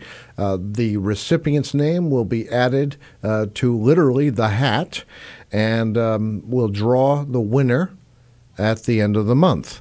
And the winner receives a free 7 inch cake, choice of chocolate or vanilla, from LBD's second generation Italian bakery, 140 South Main Street on the Bradford side of the river. I guess that is the term I'm using, Bradford side of the river, uh, since I have not received any um, suggestions from you, my listeners, about um, is it the former town of Bradford? South Haverhill, the Bradford District, which is what its legal name is, the Bradford District of Haverhill, the Bradford neighborhood, although people in Ward Hill will be upset, uh, and that's another another town that's not Ward Hill. Uh, so maybe you have a, a, suggestion on that.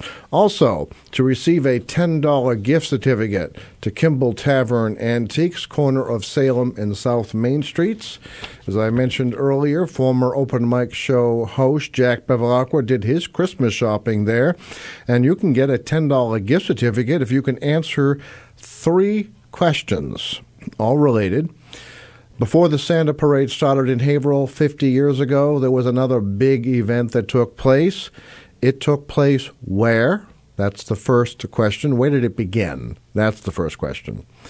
Then it got so big and popular it had to move. Where did it go? That's the second question. And either way, who played Santa Claus at these Christmas parties?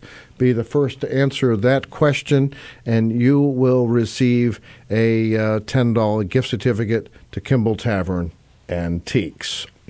All right, on uh, WHAV News tomorrow and on the website as soon as possible. Uh, we're going to provide some information about a fundraiser uh, to benefit uh, listener Brian, who you just heard before the news, uh, who lost uh, his life savings to theft. Uh, we're going to see what we can do to help him. we know that people are, are particularly generous this time of year. I know that there are many who are generous all through the year, but this is a, a particularly a sad case, and we hope that you'll be able to help. I believe we have a call. You're on the open mic show. You do like giving me the difficult questions, don't you? Which one did I ask this time? Uh, the stained glass mystery. Oh yes, yes. Well, you know, I uh, I guess the family was somewhat offended uh, that their relative possibly would do the stained glass equivalent of graffiti, um, but um, you know, you know, I went looking, and there is no variable translation that would include the word head. And no. I can't imagine that somebody with the name Rocco in that time period would not know their Psalms. No. So no. basically, you got two, you got three choices basically at this point. One, it was in the original Connick piece and nobody caught it, and he left it there because what better irony? No, absolutely. I'm not. I'm not sure about that one. I would. I. I don't know since we don't know what the glass looked like. I don't see pictures of the crack. I don't see pictures of the original. I don't see pictures of the replace. So because of that, it's uh, you know it's all hy- hypothetical. Hy- hypothetical. Uh, isn't it nice when your mouth just shuts down entirely on a big word? No, that's the um, nerve. Well, um, here's here's the story. I'll repeat it for listeners who may okay. have missed it. Around 1960, Rocco was commissioned to assemble the Eucharist windows to the left and right of the 1947 Stover windows at the Universalist Unitarian Church. Now, let's see. In 1960, I believe that's when the that's when the Universalists merged with the Unitarians officially.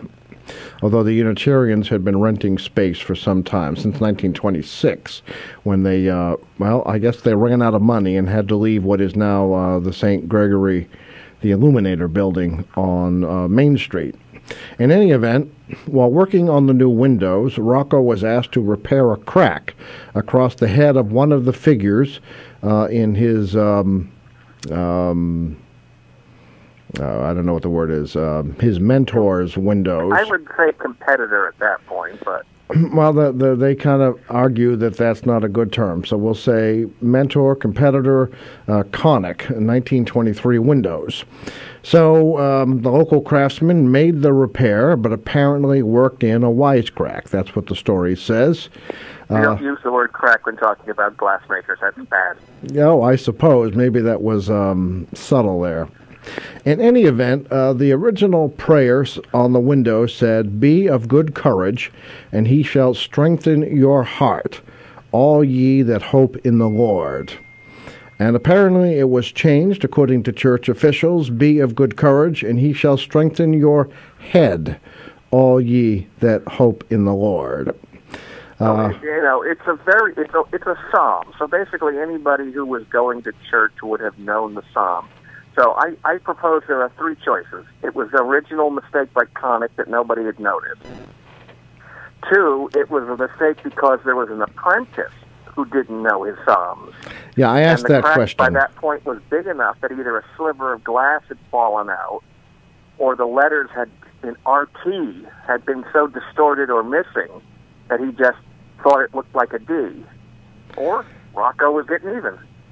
Well, I mean, and I don't think it's an offensive story. The, the church certainly uh, rather enjoys the irony of it. They've never complained. They haven't changed it. Um, but I, I suppose there are sensitivities uh, on these kinds of things. So we're Oh, going to. See. That's a genealogy mindset. A good scandal is worth a thousand nice guys. Well, I, there- I there made that argument today. genealogist out there who wouldn't want somebody hung as a horse thief. okay. Well, you know, uh, I, well, I'll just leave it at that. I agree with you. Hey, David, can you hold one second while we do community spotlight? We'll keep you on the phone. All right. All right. Uh, David's going to uh, hold, and um, we're going to go to community spotlight to make sure we get that in, and then we'll be right back with more of the open mic show. Open mic. Tim Coco and the open mic will be right back. Get in on the action. Call 978 374 1900 or email tcoco at whav.net. If you are enjoying this program, please consider making a donation right now. Your donations to not for profit WHAV help keep these vital community services on the air. Donate online at www.whav.net. Still not sure when your favorite features are broadcast? Check out the What's On page at www.whav.net for complete listings. Catch the wave. On the next, Making Contact. That's why our administration has moved aggressively to secure our borders more by hiring a record number of new border guards.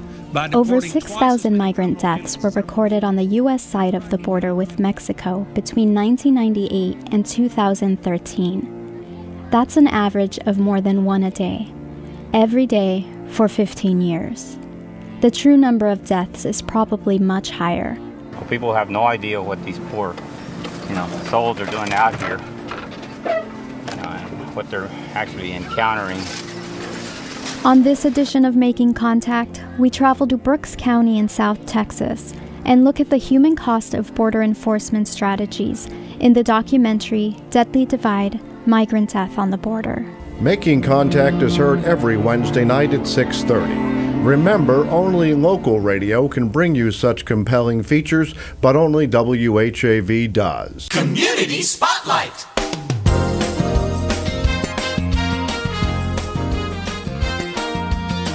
The Haverhill Public Library's book club Get Lit is meeting Thursday, December 18th at 7 p.m. at the Barking Dog Ale House, 77 Washington Street, Haverhill. The club is aimed at 20 and 30 something year olds who will be discussing Beautiful You by Chuck Palahniuk. For more information or to register online, visit haverhillpl.org under calendar of events or call 978 373 1586. Someone you know is on WHAV. To submit or read your own nonprofit announcements, click on the contact tab at WHAV.net or email news at WHAV.net. In the Edwin V. Johnson Newsroom, this is Martha Melendez.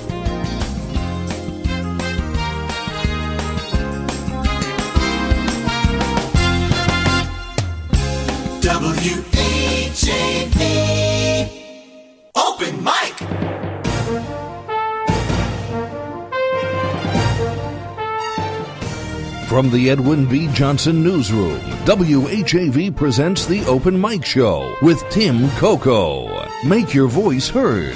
Call 978 374 1900. That's 978 374 1900. Or email tcoco at whav.net.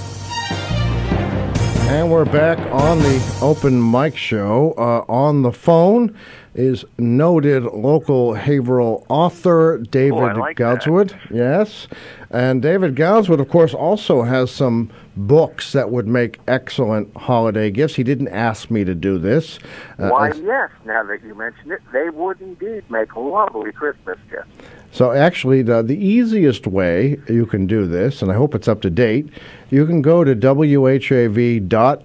Let me just uh, do this right in front of you here. Go to whav.net. Uh, go to membership, and you actually don't have to be a member. Uh, go down to members shop, and then you'll see a list of local authors, and I think the most prolific among them is David Goudsward. Well, you know, boys got to keep busy. All right, so let's look at the David Goudsward page uh, so we can uh, share this because it's timely. All right, we have H.P. Lovecraft in the Merrimack Valley, ancient stone sites of New England, and the debate over early European exploration. We have. If I may distra- if I may break into your sales pitch just for a brief moment, Okay. I have a funny story about that book. All right. I was just I just got an invitation to do a talk on one of the sites featured in Ancient Stone Sites, and they want to know when I can get there. The uh, talk would be at the Union Maine Historical Society meeting. Oh, I don't mind doing it, but nobody wants to pay for the commute. Oh, yes, that's the problem with uh, historical societies and nonprofits. Uh, Whittier Birthplace has the same problem every year. We'll find that someone has written a great book. Well, I'm working on that problem. That's right, you're working on it too. Uh, David has some great ideas. As a matter of fact, uh, you left me a message today, which I found rather humorous. And uh, I, um, I'm hoping it's a true story just because it's a fun one. Well, it, it, I, I think I've got it narrowed down. I think it, I think if we're talking about a Samuel T. Pickard antidote, that actually I think it's in Whittier land, but I haven't been able to pinpoint it yet because for some odd reason it's not searchable. Oh, actually, I have the book at home, and of course, I'd have to look through it. But you're right. Uh, searchable, we've become a generation that it's just easier uh, to look at a book electronically to find uh, certain information rather Well, I, than. I, I've had to. Sur- you know, it's it's a coping mechanism. If you live in Florida and you're writing a book about the Merrimack Valley, No, lot, a lot easier. I mean, I got a lot of books about the Merrimack Valley down here. And then David also has America's Stonehenge, the Mystery Hill story. Uh, seems to me uh, where we are missing your latest title, which we'll have to add, which is, David? Why, the latest title is Our Guide to Massachusetts. Just give me a little advance notice on this stuff. Um, Our Guide to Massachusetts, which was uh, co-written with my brother, the illustrious editor, author Scott T. Goudsward. Oh, that reminds me, listeners, I received an email from Scott Goudsward uh, responding to uh, basically the on air invitation uh, that he come on to talk about his work. Uh, his uh, email ended up in my spam folder. I did retrieve it, and so. It's that a lot. Oh, well, anyway, so uh, d- don't take it personally, Scott. We'd love to have you on the program, and um, I will try to remember to respond to that email. But I hope you're listening. Uh, I think he's home. Does that count for something? All right, I guess apparently he's in this neighborhood quite a bit. So, all right, anyway, here's, uh, here's a little more about David Goudsward. Raised on the summit of Scotland Hill, brings his New England sensibilities and respect for historical perspective wait a minute, to his work. I think I left out a word here. Although living in Florida. I, I just can't work with amateurs anymore. I'm sorry. Actually, didn't you write this? Maybe. Although living in Florida, his bibliography consists primarily of New England topics. Doesn't sound like something I'd write. All Maybe right. it got edited. Well, speaking of getting edited, I guess we've just been taken off the air on Channel 22. That's the story of my life. All right. Well, we worked this in anyway, folks. So listen, you've got Roxanne Dent's book, The 12 Days of Christmas. We'll give away a copy hopefully next week. We have David Goudsward's books, and if you go through these this page under membership and members shop, uh, you'll see some uh, other great local authors. So uh, that's a good place to leave it, I think, for the holidays. So, David, anything else on your mind? Because I don't know if we ever let you say what you wanted to say. No, I was I, I'm intrigued by the stained glass, and I think it's it's really going to come down to whether or not the UU Church has got any photographs of the crack itself. Yeah, bef- the before. Yeah, yeah, I- either before or during. Yeah. That's uh, that's. I think is going to be the challenge. But I've agreed to meet this family member at the church, and even inside, you're going to need one will need binoculars or something to read everything on the glass. Uh, but the family. Uh, at least initially disputes that even the the the left and right windows uh, were um, Rocco's work. So we're going to go read the signatures and just confirm all of the facts, and then take another look at this story, which I do think is is interesting. I'm fascinated by it. I mean, I, I think it's a fun piece, and you know, we need more fun pieces. No, I, well, I guess uh, the family doesn't think it's so fun, but um, well, you know, uh, Barney Gallagher once told me that if um, people complain about a story, you're doing the right thing. So I don't People know. complain about it. That means at least they read it. All right, so uh, that word is getting around. Uh, thank you to fans who brought our WHAV Facebook to 700 likes today. I believe that's the number. Let's see if we're we're gone up any further than that. I'm on the wrong page. So there it is. Yeah, 700 likes today. Uh, that's grown like more than uh, 250 or so uh, since the new news site went on. So I guess we're making progress. And David, do you bank at TD Bank? Yes, I do, but not in the Haverhill one. But of course, it says 260,000 customer names from around around the country. You know, it's it's funny though. Uh, I've got a brand new card that hasn't been activated yet, so I'm covered either way. Apparently, there was a breach at Home Depot during a time period when I used the card. I had that happen too with another The bank. bank issued a new card. I just haven't gotten around to activating it, so all of a sudden now I kind of have motivation to do so. Yeah, very interesting these things, but there'll be more on WHAV News tomorrow. David, I guess we're at the end of the program. Thank you for calling in. And, Always good talking to you. and we'll have some fun. I'm, I'm actually glad that people are talking about the Haverhill Heritage Series because it gives us more motivation to turn out some stories. Oh, I got a couple of buttes down the road coming for you. All right, and of course, um, I finally got through uh, the FM chapter. I don't know what you thought of that. To tell you the truth, I'm not going to read it until I actually have to steal it for the history of WHAV book that we are co-writing. Yeah, that's my. And Uh, that way it's fresh and I know what I'm looking at. yeah, that was my motivation. Is that I'm going to knock out um, uh, the FM chapters. And uh, now we, of course, there's one left to be written anyway, at least one, and that is the uh, WHAV, which um, anyone who's still listening, we'll call this the bonus show. Um, the um, there's a slight change in plans um, but not. It's all good news. So uh, it looks like the frequency might not be 98.1 after all, but rather 97.9. That, and that makes a difference because of the conflict with the church. Exactly. We are ah. we are trading frequencies uh, and moving east, and they are moving west and that'll keep enough distance between us so we both can go on the air. And thanks to engineers and the electronic equivalent of shoehorns, we might be able to make this work. You're moving the the transmitter east. Yes, I know we haven't had a chance to discuss this yet, and uh, I'm not sure how much the attorneys want me talking about it. Well, uh, I'll hang up and call back. How's that? All right. So anyway, folks, uh, there's those of you who stayed on for the bonus show, juicy tidbits for uh, the future. All right, David. Well, thank you very much. We'll talk a little later. Talk to you later. Take care. All right. Uh, poor Nate, you know, it's uh, 8.34 by the studio clock, and um, he has orders to be home at 8.35. So we're going to we're going to get him out of here. Everyone have a great night. We'll be back with more of the Open Mike Show next Monday, same time. Open Mike!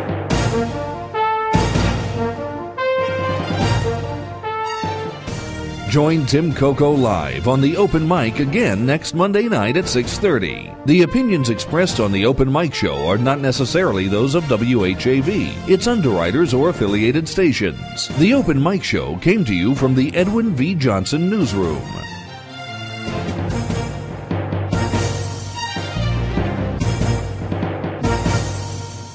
It's 835. This is Pacifica Radio for the Merrimack Valley, WHAV the wave. Melinda's Garden Moments help gardeners create and maintain a healthy, beautiful garden with ease, inside or out, and all year long. This is Melinda Myers, inviting you to tune in every weekday morning, right here on WHAV. You'll learn creative ways to grow your own vegetables and herbs while beautiful